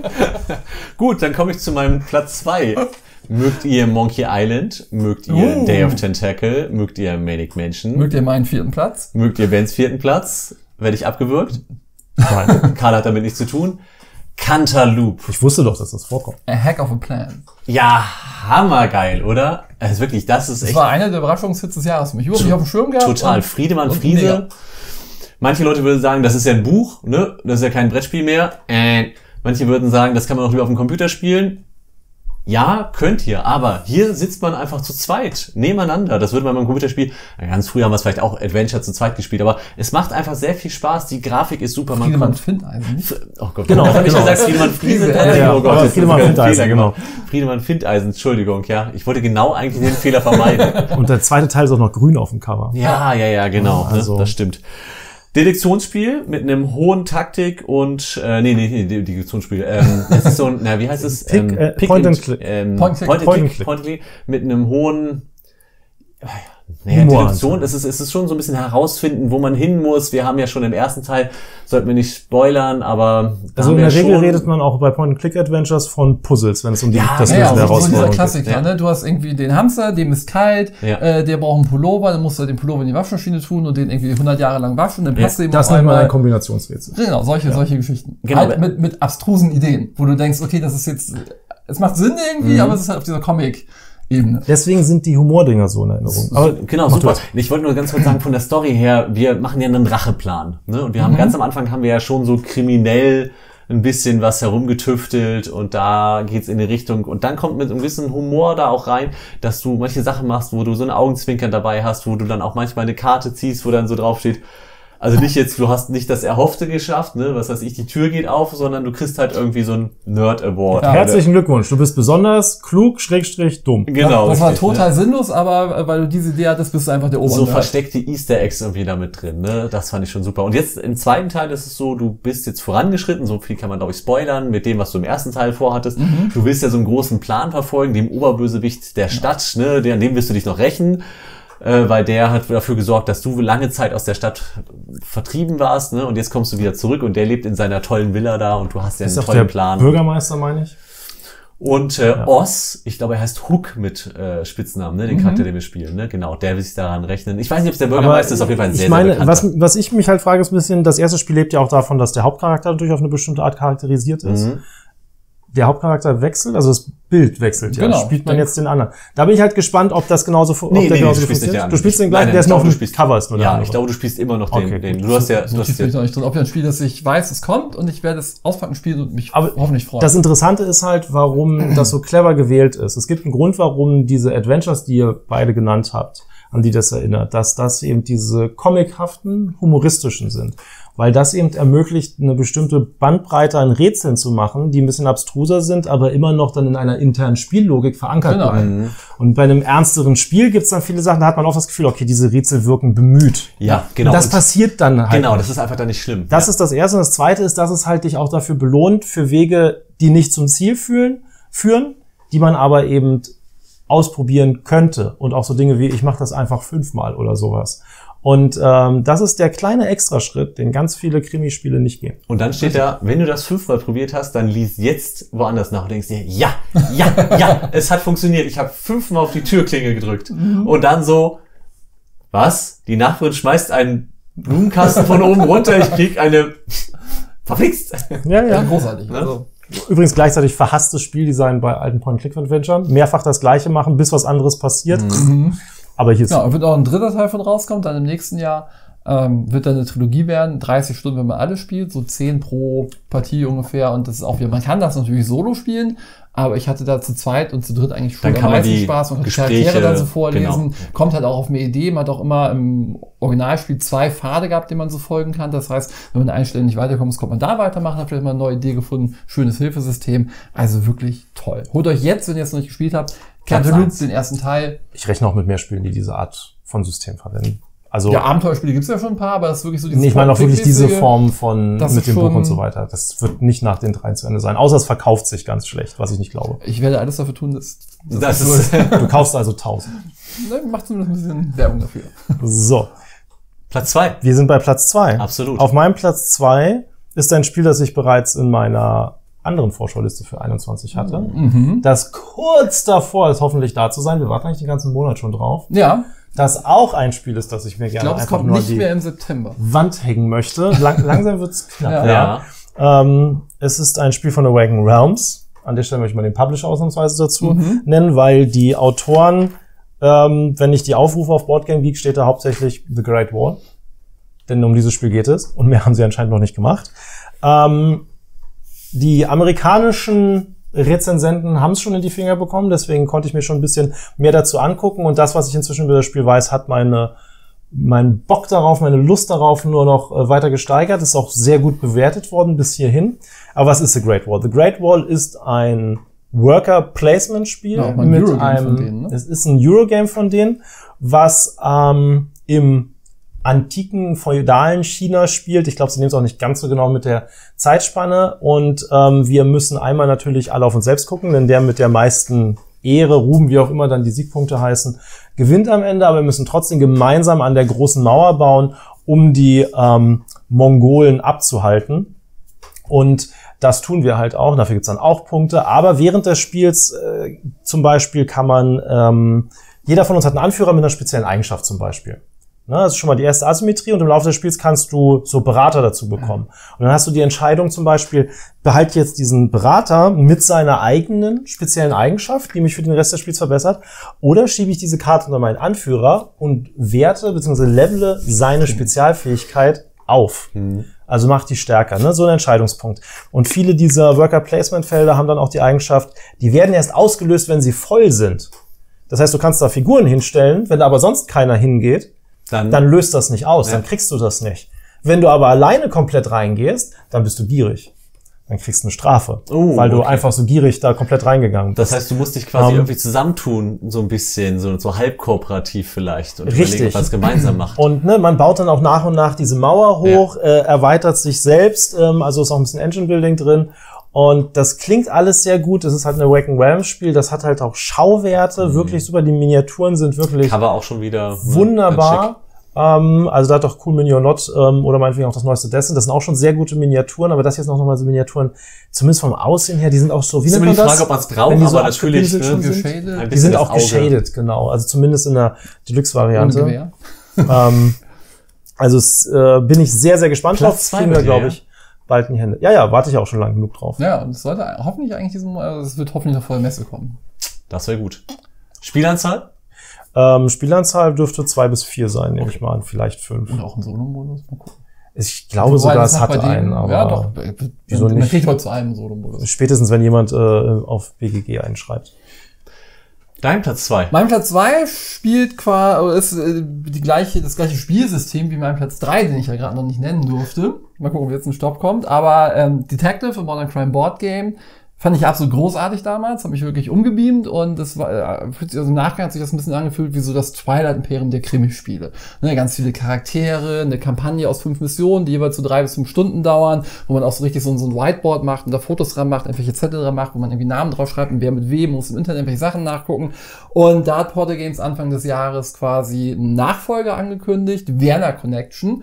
Und das spielt dann so im Kalten Krieg, Agenten-Setting. Viel mehr weiß ich darüber auch noch gar nicht, weil das auch wieder ein Spiel ist. 1977 oder so, ne? 1977, ja, ich habe es ja schon geteasert, genau, Ja, ja, genau. Also mein Platz sieben halt natürlich, ne, der tote Amerikaner, ne, das ist äh, schon der Teaser dafür in schon, Wien. schon mehr als ich darüber weiß, weil das habe ich halt auch gesehen, dachte, boah, geil, hat mich ja voll abgeholt und ich fand ja auch die Erweiterung tatsächlich von dem Grundspiel Detective noch besser als den ersten Teil. Ja. Dieses äh, LA Crimes hieß das und ich habe mir da jetzt einfach mehr nicht angeguckt. Ich habe da auch bei Portal Games die englische Version angefragt. Das heißt, das werde ich hoffentlich auch zeitnah haben. Und Es dann, gibt auch die deutsche Version spielen, auf der Messe auf jeden Fall Wenn es die schon geben soll, werde ich wahrscheinlich die dann auch steht schon da schon, haben. steht im Katalog drin, ne, das ist die. Mal gucken, also ob die wirklich kommen dann auch, aber ähm, da bin ich einfach mega. Ich bin natürlich gespannt, weil das andere hat natürlich auch davon gelebt, dass man halt diese Datenbank hatte, wie man sich halt auch wie so ein richtiger Ermittler gefühlt hat und äh, dass man eben auch im Internet Sachen nachgucken musste. Das war ja ein Teil des Spiels und da hat es halt gepasst, was in der Jetztzeit gespielt hat.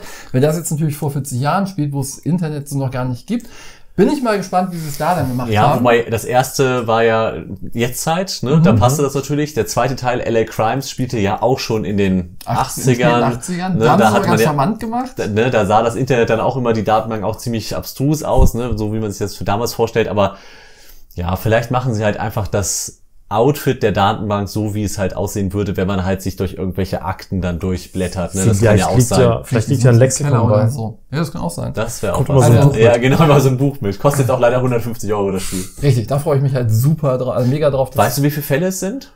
Ja, wie gesagt, ich Weißt du auch nicht, bei okay, ich manchen weiß es auch Sachen nicht. Sage ich einfach, boah, geil, und das nicht will ich nicht wissen, mehr ja. wissen, ich will es einfach da haben und dann spielen und dann. Gerade wenn dann es so viel um, den, um die Story geht. Richtig. So, Platz eins. Uh. Trommelwirbel. Oh. Ein Spiel, wo ich richtig heiß drauf bin, deshalb habe ich es auch gekickstartert, aber Ah. Du hast es Es- gekickstartet. ich habe es gekickstartert, aber es kommt jetzt zu Spiel auch schon raus. Mhm. Ich hoffe, ich kriege es auch vorher, weil dann ist das wieder so eine Geschichte, dass die Leute es auf der, dann ist es wieder so eine Geschichte, dass die Leute auf das Spiel es vorher haben als die Kickstarter-Leute. Okay, das Gab's ja schon mal bei ne, soll es ja schon mal gegeben. Ich bleib bei meiner Aussage. so, was ist es? Ist egal, notfalls warte ich noch ein paar Wochen, aber natürlich hätte ich es gerne vorher. Wir sind auf den Galapagos-Inseln, wir machen Ah. Darwins Journey. Journey. Genau, Stimmt, das ist auch ein Darwins Kickstarter, Journey. ja, ja. Bin ich richtig, richtig heiß drauf. Super Verzahnung, geiler Mechanismus sicherlich. Du hast Arbeiter, die du immer weiterbilden musst, damit du in den entsprechenden Bereichen dann auch mit denen agieren kannst. Von der Story her. Darwin finde ich sowieso interessant. Ne? Robinson Crusoe hatte schon Darwin als Thema, diese Reisen, die man da antritt, diese Forschungsreisen, wo er dann später sein Buch zuschreibt. Ähm, ist das Vielfalt der Arten, was er dazu schreibt, das Buch? Oder The ich Origin The Origin of Species. Dankeschön. Ist auf Deutsch, glaub ich, die das Vielfalt der Arten, Das ja. könnte das sein, ja. Und besonders ähm, genau übersetzt. das fand ich schon gut von, vom Robinson Crusoe-Thema. Ne? Du hattest mich ja mal gefragt, welches man da spielen sollte. Ich würde das auf jeden Fall empfehlen. Aber wir sind jetzt hier beim Worker Placement-Spiel. Da ist es auch wieder der Hintergrund. Ne? Wir begleiten quasi Darwin wohl bei seinen Arbeiten auf den Galapagos-Inseln und gemacht wurde es von unter anderem Simone Luciani. Ne? Der ist auch für viele, viele Spiele bekannt. Die zähle ich jetzt nicht alle auf. Es ist für ein bis vier Spieler, 60 bis 120 Minuten und es kommt hier bei Skellig Games raus. Ist das nicht auch der, der jetzt dann bei Golem einer der Designer Ja. ist? Ja. Das heißt, du kriegst gleich zwei Ach, zum Preis zum- von einem. Du weißt gar nicht, was zum- du zuerst spielen zum sollst. Ausflippen. Gefühlt wirklich. zwei zum Preis von Zu- zwei, Zwei, aber zwei, zwei, zwei, zwei, genau. Aber zu, zu Darwin müssen, gefühlt zwei zum Preis von zu vier. Darwin aber- müssen wir gar nicht mehr so viel sagen. Wir haben das ja schon mal für dich besprochen. Ähm, Stimmt, richtig, Ja, ja, ja. das war dein Platz eins schon In der Vorfreude, in ne? der Vorfreudeliste und Wenn du nicht ähm, da warst. das haben wir dann übernommen. Und weißt du noch, welche Wörter du genommen hast, um das anzukündigen? Also es war auf jeden Fall sehr schön verzahnt. ich bin richtig, richtig heiß drauf. und ähm, richtig, richtig heiß drauf. Äh, es ist nicht einfach beige, es ist hellbeige, Ja. eher so weißlich schon fast. Es sieht aus, Also- als würde es direkt aus der Euro-Hölle kommen. Also wirklich, Vasco da Gama ist An der Stelle spiel doch einfach kurz einen Ausschnitt aus dem anderen Video kurz ein. Ja. Das ist dann, was wir sagen, weil mehr kann gar nicht dazugekommen sein. Ich freue mich super. Ich bin da schon sehr gespannt drauf. Ähm, du wirst dich irgendwann entscheiden müssen, mit welchem Spiel du uns foltern willst. bitte? Äh, ich Nee, meine, mit, nur eins? mit vielen Spielen mit welchem. Spiel du uns beglücken Wir möchtest. müssen Und auch ich- Tricerion spielen, ne? Genau. Tricerion, Tricerion kommt auch bald. Er muss sich dann aussuchen, was. Mhm. Du kriegst eine Auswahl aus drei Spielen. Du darfst mit uns Golem, Tricerion oder Darwin's Journey Die zwei spielen. davon möchte ich auch spielen. Ich spiele, ich spiele einfach, ich spiele einfach alle drei Spiele mit Du euch meinst, an einem, musst an einem Tag. Möchte ich. Was ist dein Platz eins? Drei Ja. Karls Platz 1 ist mein Platz Karl Platz drei. 1 ist, ähm, Moment, ich muss erst mal ganz kurz die hier zurückbekommen. Mein Platz 1 war Bens Platz 3 Richtig? Und äh, du hast das gar nicht drin, das ist eine Sauerei. Welches nochmal? Ähm, das, was ich jetzt sagen will. Ja. Ja, genau. Mhm. Das ist ein Spiel, warte, ich gebe dir ein paar Tipps. Also es, Was ist mit von, es ist von diesem Jahr. Irgendwas mit Detektiven Es ist was und mit, es ist Dune? was mit einem Detektivsystem. Mhm, Genau, ja. Genau. Also wir reden von, reden wir nicht um den heißen Brei herum. Ich nenne nicht die Autoren in dem Fall, weil ich die Namen eh nicht ausgesprochen kriege. Ja. ähm, es handelt sich um Dune House House Stories. Stories. Ja, das kann man mögen, aber herrje, es gibt Besseres. Also, ne? du hast ja selbst dieses Spielsystem schon gespielt. Das ist ja das gleiche wie Richtig. bei Vienna Connection, wenn ich das äh, nicht ganz falsch im Kopf habe. Und hier wird es aber mal mit einem Thema verbunden, das wirklich sehr interessant ist, meiner Meinung nach. Ich höre ich hör, ich hör dir aus Freundlichkeit noch zu. Ich habe auch schon Kommentare gelesen. von Ja, aber wegen überbewertet als Ich, ich bin so. da super gespannt drauf, weil ähm, das ist ja das Dune-Jahr. Man hätte diese Liste tatsächlich, und zwar ohne sich anzustrengen, Mit zur Hälfte mit. Dune-Sachen, ja, zehn, Ja, doch, fünf, sechs, bestimmt hin. also, ja. Fünf, ja. Ja. Na, kommt ja noch die. Gestreamlinete Version des alten Genau, Dunes und zum Beispiel. Resistance-Version von Resistance-Version. Dune, da kommt Demnächst raus. bei dir auf der Liste Top 1 Dune Monopoly. Ja, äh, Dune. Dune Rising. Dune Rising. Dune Rising. Nee, aber es ist ja, es ist das Boah, Korn in der. Mitte steht. Richtig. Es ist das Dune-Jahr, das liegt ja auch am Film, der jetzt gelaufen ist, der, wie ich auch verkünden darf, wirklich hervorragend ist. Muss wirklich, gucken dringend. Wirklich sehr Ja, gut. Ja, ähm, das war heute, das ist eine ziemlich letzte Gelegenheit. Heute Nacht läuft Bond an, ähm, also zum Zeitpunkt des Drehs. Ähm, Dune House Stories. Wie gesagt, das ist ein total reiches Universum, ein Science-Fiction-Universum, ähm, geschaffen in den 60ern. Bis heute halt ein Klassiker, eines der großen Science-Fiction-Werke mit einer wirklich ganz, ganz reichen Hintergrundwelt. Ähm, und hier können wir hoffentlich in diese Welt eintauchen mit einem Spielsystem, das ja Storytelling unterstützt. Genau. Und ähm, wir werden Agenten sein, die irgendwie versuchen, eben Komplotte der Häuser Intrigen. äh, aufzudecken, Intrigen äh, zu entschlüsseln und wir sind auf Arrakis. Wer weiß, vielleicht sind wir auch auf anderen Planeten unterwegs. Wir wissen es nicht. Ich habe mich darüber nicht informiert. Es gibt auch, glaube ich, zur Story noch überhaupt nichts. Wenig Infos, genau. Ich bin super gespannt. Das ist ja so eine Game of Thrones Science-Fiction-Welt, hätte ich beinahe gesagt. Das ist jetzt nur der Vergleich, der überläuft. Aber ne, mit so ganz viel Intrigen, feudale Häuser, Komplotte. Und da dann drin wirklich wahnsinnige Sachen, wenn man die Bücher gelesen hat, mit irgendwelchen Leuten, die so genetisch konstruiert sind, dass sie ihre, ihr Aussehen durch, also mit reinem Willen ihr Aussehen anpassen können und dann wie jemand anderes aussehen können, also die perfekten Assassinen, perfekt für ein Spiel, in dem wir Assassinen suchen. Ich hoffe, ich hoffe, dass er diese Erwartung erfüllt, das Spiel, weil eigentlich muss man sagen, bei einem Spiel, was so viel schon mit sich herumträgt, wo es so viel Hintergrund gibt und wo man sagt, es ist halt auch gerade das Junior, könnte es aber sein, dass es dann im schlimmsten Fall einfach nur eine lame Krimi-Story die ist. Gefahr besteht, Genau. ne? gerade wenn die Vorlage ja so literarisch schon auch tief ist, sehr philosophisch zum Teil. Ähm, ich gehe jetzt aber stand jetzt auch nicht davon aus, dass es das erreicht als Tiefe, weil das sind ja schon selbstgeschriebene Geschichten von nicht Schrei- großen auch nicht die Autoren. Geschichten aus dem Spiel nach, sondern erzählt ja eigene Geschichten nochmal. Ja. Ähm, aber es ist eine Grundlage, da kann was sehr Gutes rauskommen. Und es geht ja um eine Liste, woran man interessiert ist. Genau, worauf man sich freut. Und das kann wirklich Genau. sehr faszinierend werden und vielleicht auch faszinierend in seinem Scheitern. Ja, ich bin nämlich auch gespannt, weil ich freue mich auch drauf. Ich erwarte eigentlich, dass es scheitert irgendwie inhaltlich, gerade wenn ich es mit Karl spiele, der sich ja in der Dune-Welt auskennt, der dann auch das gut einordnen kann und sagen kann, so, ja, irgendwie nicht so toll oder vielleicht habe ich da auch einen Vorteil, wenn ich die Dune-Welt gar nicht kenne, dann sage ich, hey, das ist so eine coole Geschichte, eine coole Welt und Karl wird dann sagen, ja, aber es ist halt nicht Dune, dann kann ich halt sagen, ja, ist mir egal. Also da bin ich mal gespannt drauf, es kann eigentlich fast nur scheitern und mich ja positiv überraschen. Oder man daher- wird äh, aus dem, man wird ganz lautes Lachen und Freude rufen hier aus dem Haus hören. Richtig. Ne, und Karl wird sagen, stopp, nein, ich will das Video machen, Genau, das ja, machen. ja, ja, genau. Ich bin, wie gesagt, äh, wirklich gespannt. Ich erwarte auch nicht, wie gesagt, das gleiche Niveau. Ich hoffe, das reicht. Um Was kann jetzt noch kommen? Nach meinem Hammer Platz 1 und dem Spiel. Ja, bei mir ist auf Platz 1 ein Spiel, das ihr. das Video wird ja wahrscheinlich Donnerstag oder Freitag rauskommen. Also ein oder zwei Tage später werdet ihr dieses Spiel vermutlich schon hier auf dem Kanal sehen, weil ich äh, das auch netterweise schon jetzt die Woche bekommen werde. Und ähm, Terraforming Mars ist ja eines unserer Lieblingsspiele. Wir mögen ja kartenbasierte Spiele. Und ähm, ich habe da halt auch vor Jahren, habe ich auch schon in einem anderen Video mal erzählt, schon Prototypen gespielt ähm, bei einem ja, auch Zuschauer. Ne? Bin ich fahre ja auch immer, bin in den letzten Jahren immer viel durch die Gegend gefahren, ne, gesamtbetriebsratsmäßig. Ich habe noch immer mal gesagt, hey, ne, ich bin hier und hier, ich bin in Bielefeld, ich bin in München, hat irgendwer Bock heute zu zocken. Da haben sich auch mal sehr nette Menschen gemeldet.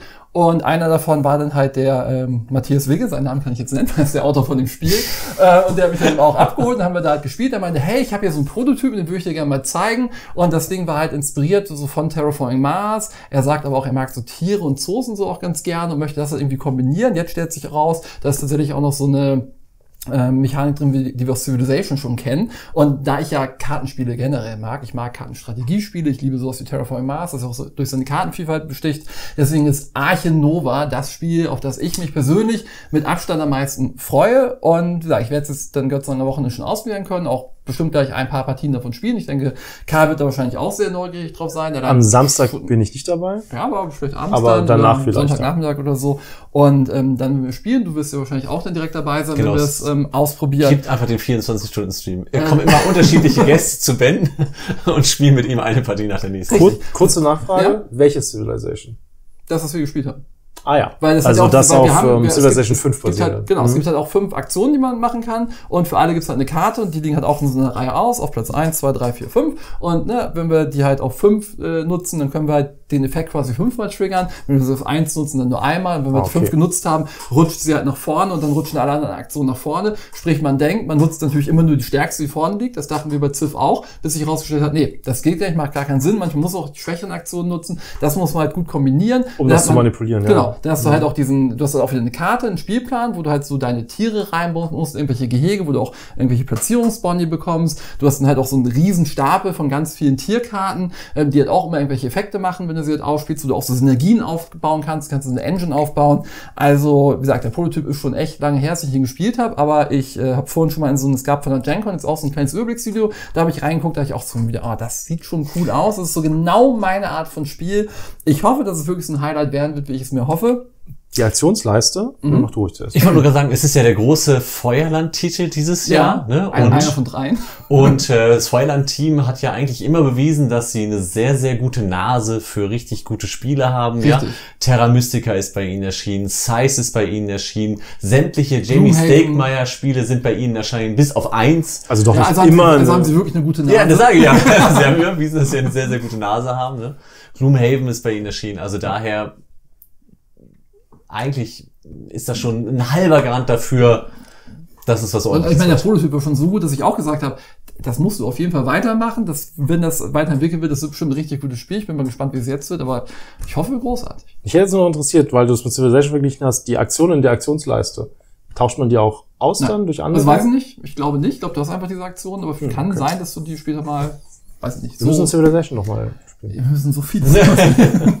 Und weil wir so viel Spiele spielen, fangen wir jetzt auch gleich wieder an damit. Wir machen nur kurz hier den Videocut Mhm. und zocken aber gleich weiter. Das waren 30 Spiele, die wir ungefähr. ungefähr Oder plus minus ein paar war bei mir jedes Mal. Voice irgendwo höher drin. Lasst ihr doch bitte gerne da, welche Spiele die sind, auf die ihr euch am meisten freut. Keine Sorge, ihr müsst keine 10 drunter Oh schreiben. Gott, glaubst du, wir haben was vergessen? 1, 2, 3. Meinst du, wir haben Highlights Nein, vergessen? ich habe meinen Witz vergessen. Ich wollte die Nummer eins ankündigen mit, es kann nur eines sein. Es muss natürlich Catapult Kingdom sein. aber ja, Du warst zu sehr ich heiß war auf. zu, ich war zu, sehr Zu drin. spät. Also wie gesagt, schreibt das gerne drunter und wenn euch das Video gefallen hat, dann Dann hinterlasst gerne so, einen ja. Daumen und ähm, abonniert auch gerne den Kanal, falls ihr das noch nicht getan habt. Ich darf das sagen, ist eh nicht meine, das heißt es ist selbstlos. äh, meinem Urteil könnt ihr vertrauen. Und ich möchte trotzdem gerne dem Besitzer das letzte Wort Genau, und es kann halt, wie gesagt, wirklich sein, dass ihr hier jetzt in dem Video auch ein paar Spiele nicht findet, die ihr vielleicht auf anderen Kanälen äh, schon gesehen habt oder die vielleicht auch in der Board Game Week Top 25 äh, drin waren. Vielleicht auch sowas wie Pagan oder so, was ich auch durchaus hätte reinnehmen können, was auch ein Spiel, das super gut ist. Alle oder. Beyond the Sun, The Loop und so. Großartige Spiele, die ja auch quasi noch als Messenneuheit gelten, ne? auch wenn die schon vorher rauskommen, gelten sie immer noch als Herbstneuheit. Die habe ich aber eben schon gespielt. Da, also ja, ich könnte euch jetzt aus dem Stehgreifen Top 5, Top 10 Video machen mit super geilen Messetiteln, wo ich einfach weiß, dass die gut sind. Das habe ich ja vor zwei oder drei Jahren auch gemacht. Da habe ich auch in der Woche vor Essen zwei Top 10 Videos gemacht. Ich habe eins die Top 10 Spiele, auf die ich mich freue und eins die Top 10 Spiele, die ich schon gespielt habe, wo ich weiß, die sind geil. Das werde ich halt auch definitiv noch machen. Es werden auch gefühlt dann eher Top 20 oder Top 25. Wie gesagt, das werde ich so in der nächsten Woche drehen. Das kommt dann auch kurz zu Essen raus, weil bis dahin ist auch die Chance, dass wir noch mehr gespielt haben. Genau, das ist- mein Ares kommt ja Expedition was, ne? kommt auch morgen zum Beispiel. Und äh, Pegasus-Paket ist auch gerade noch in der Post. Und ja, es ist doch wieder ein cooles Spiel, ja. Wenn ihr euch weiter informieren wollt, könnt ihr es bei Boardgame Geek natürlich machen. Ne? Da gibt's da eine Liste. Ihr könnt aber auch, wenn ihr ein deutsches Magazin euch anschauen wollt, äh, Brettspielbox. Ne? Mhm, der macht auch immer da. auch. Genau, der macht richtig viel Arbeit, steckt er auch rein und der hat auch eine sehr, sehr gute Vorstellung einfach dabei. Also kann man auch empfehlen, die Seite. Genau. Und ja, das war's dann von uns. Wir werden jetzt noch was spielen und dann noch, ich habe schon auch viele Videos gesehen, freut euch jeden Tag auf neuen Inhalt bis zur Messe.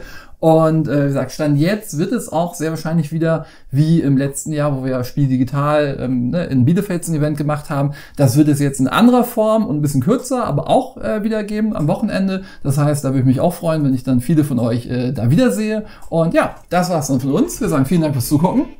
Und tschüss. Bis bald. Bis bald.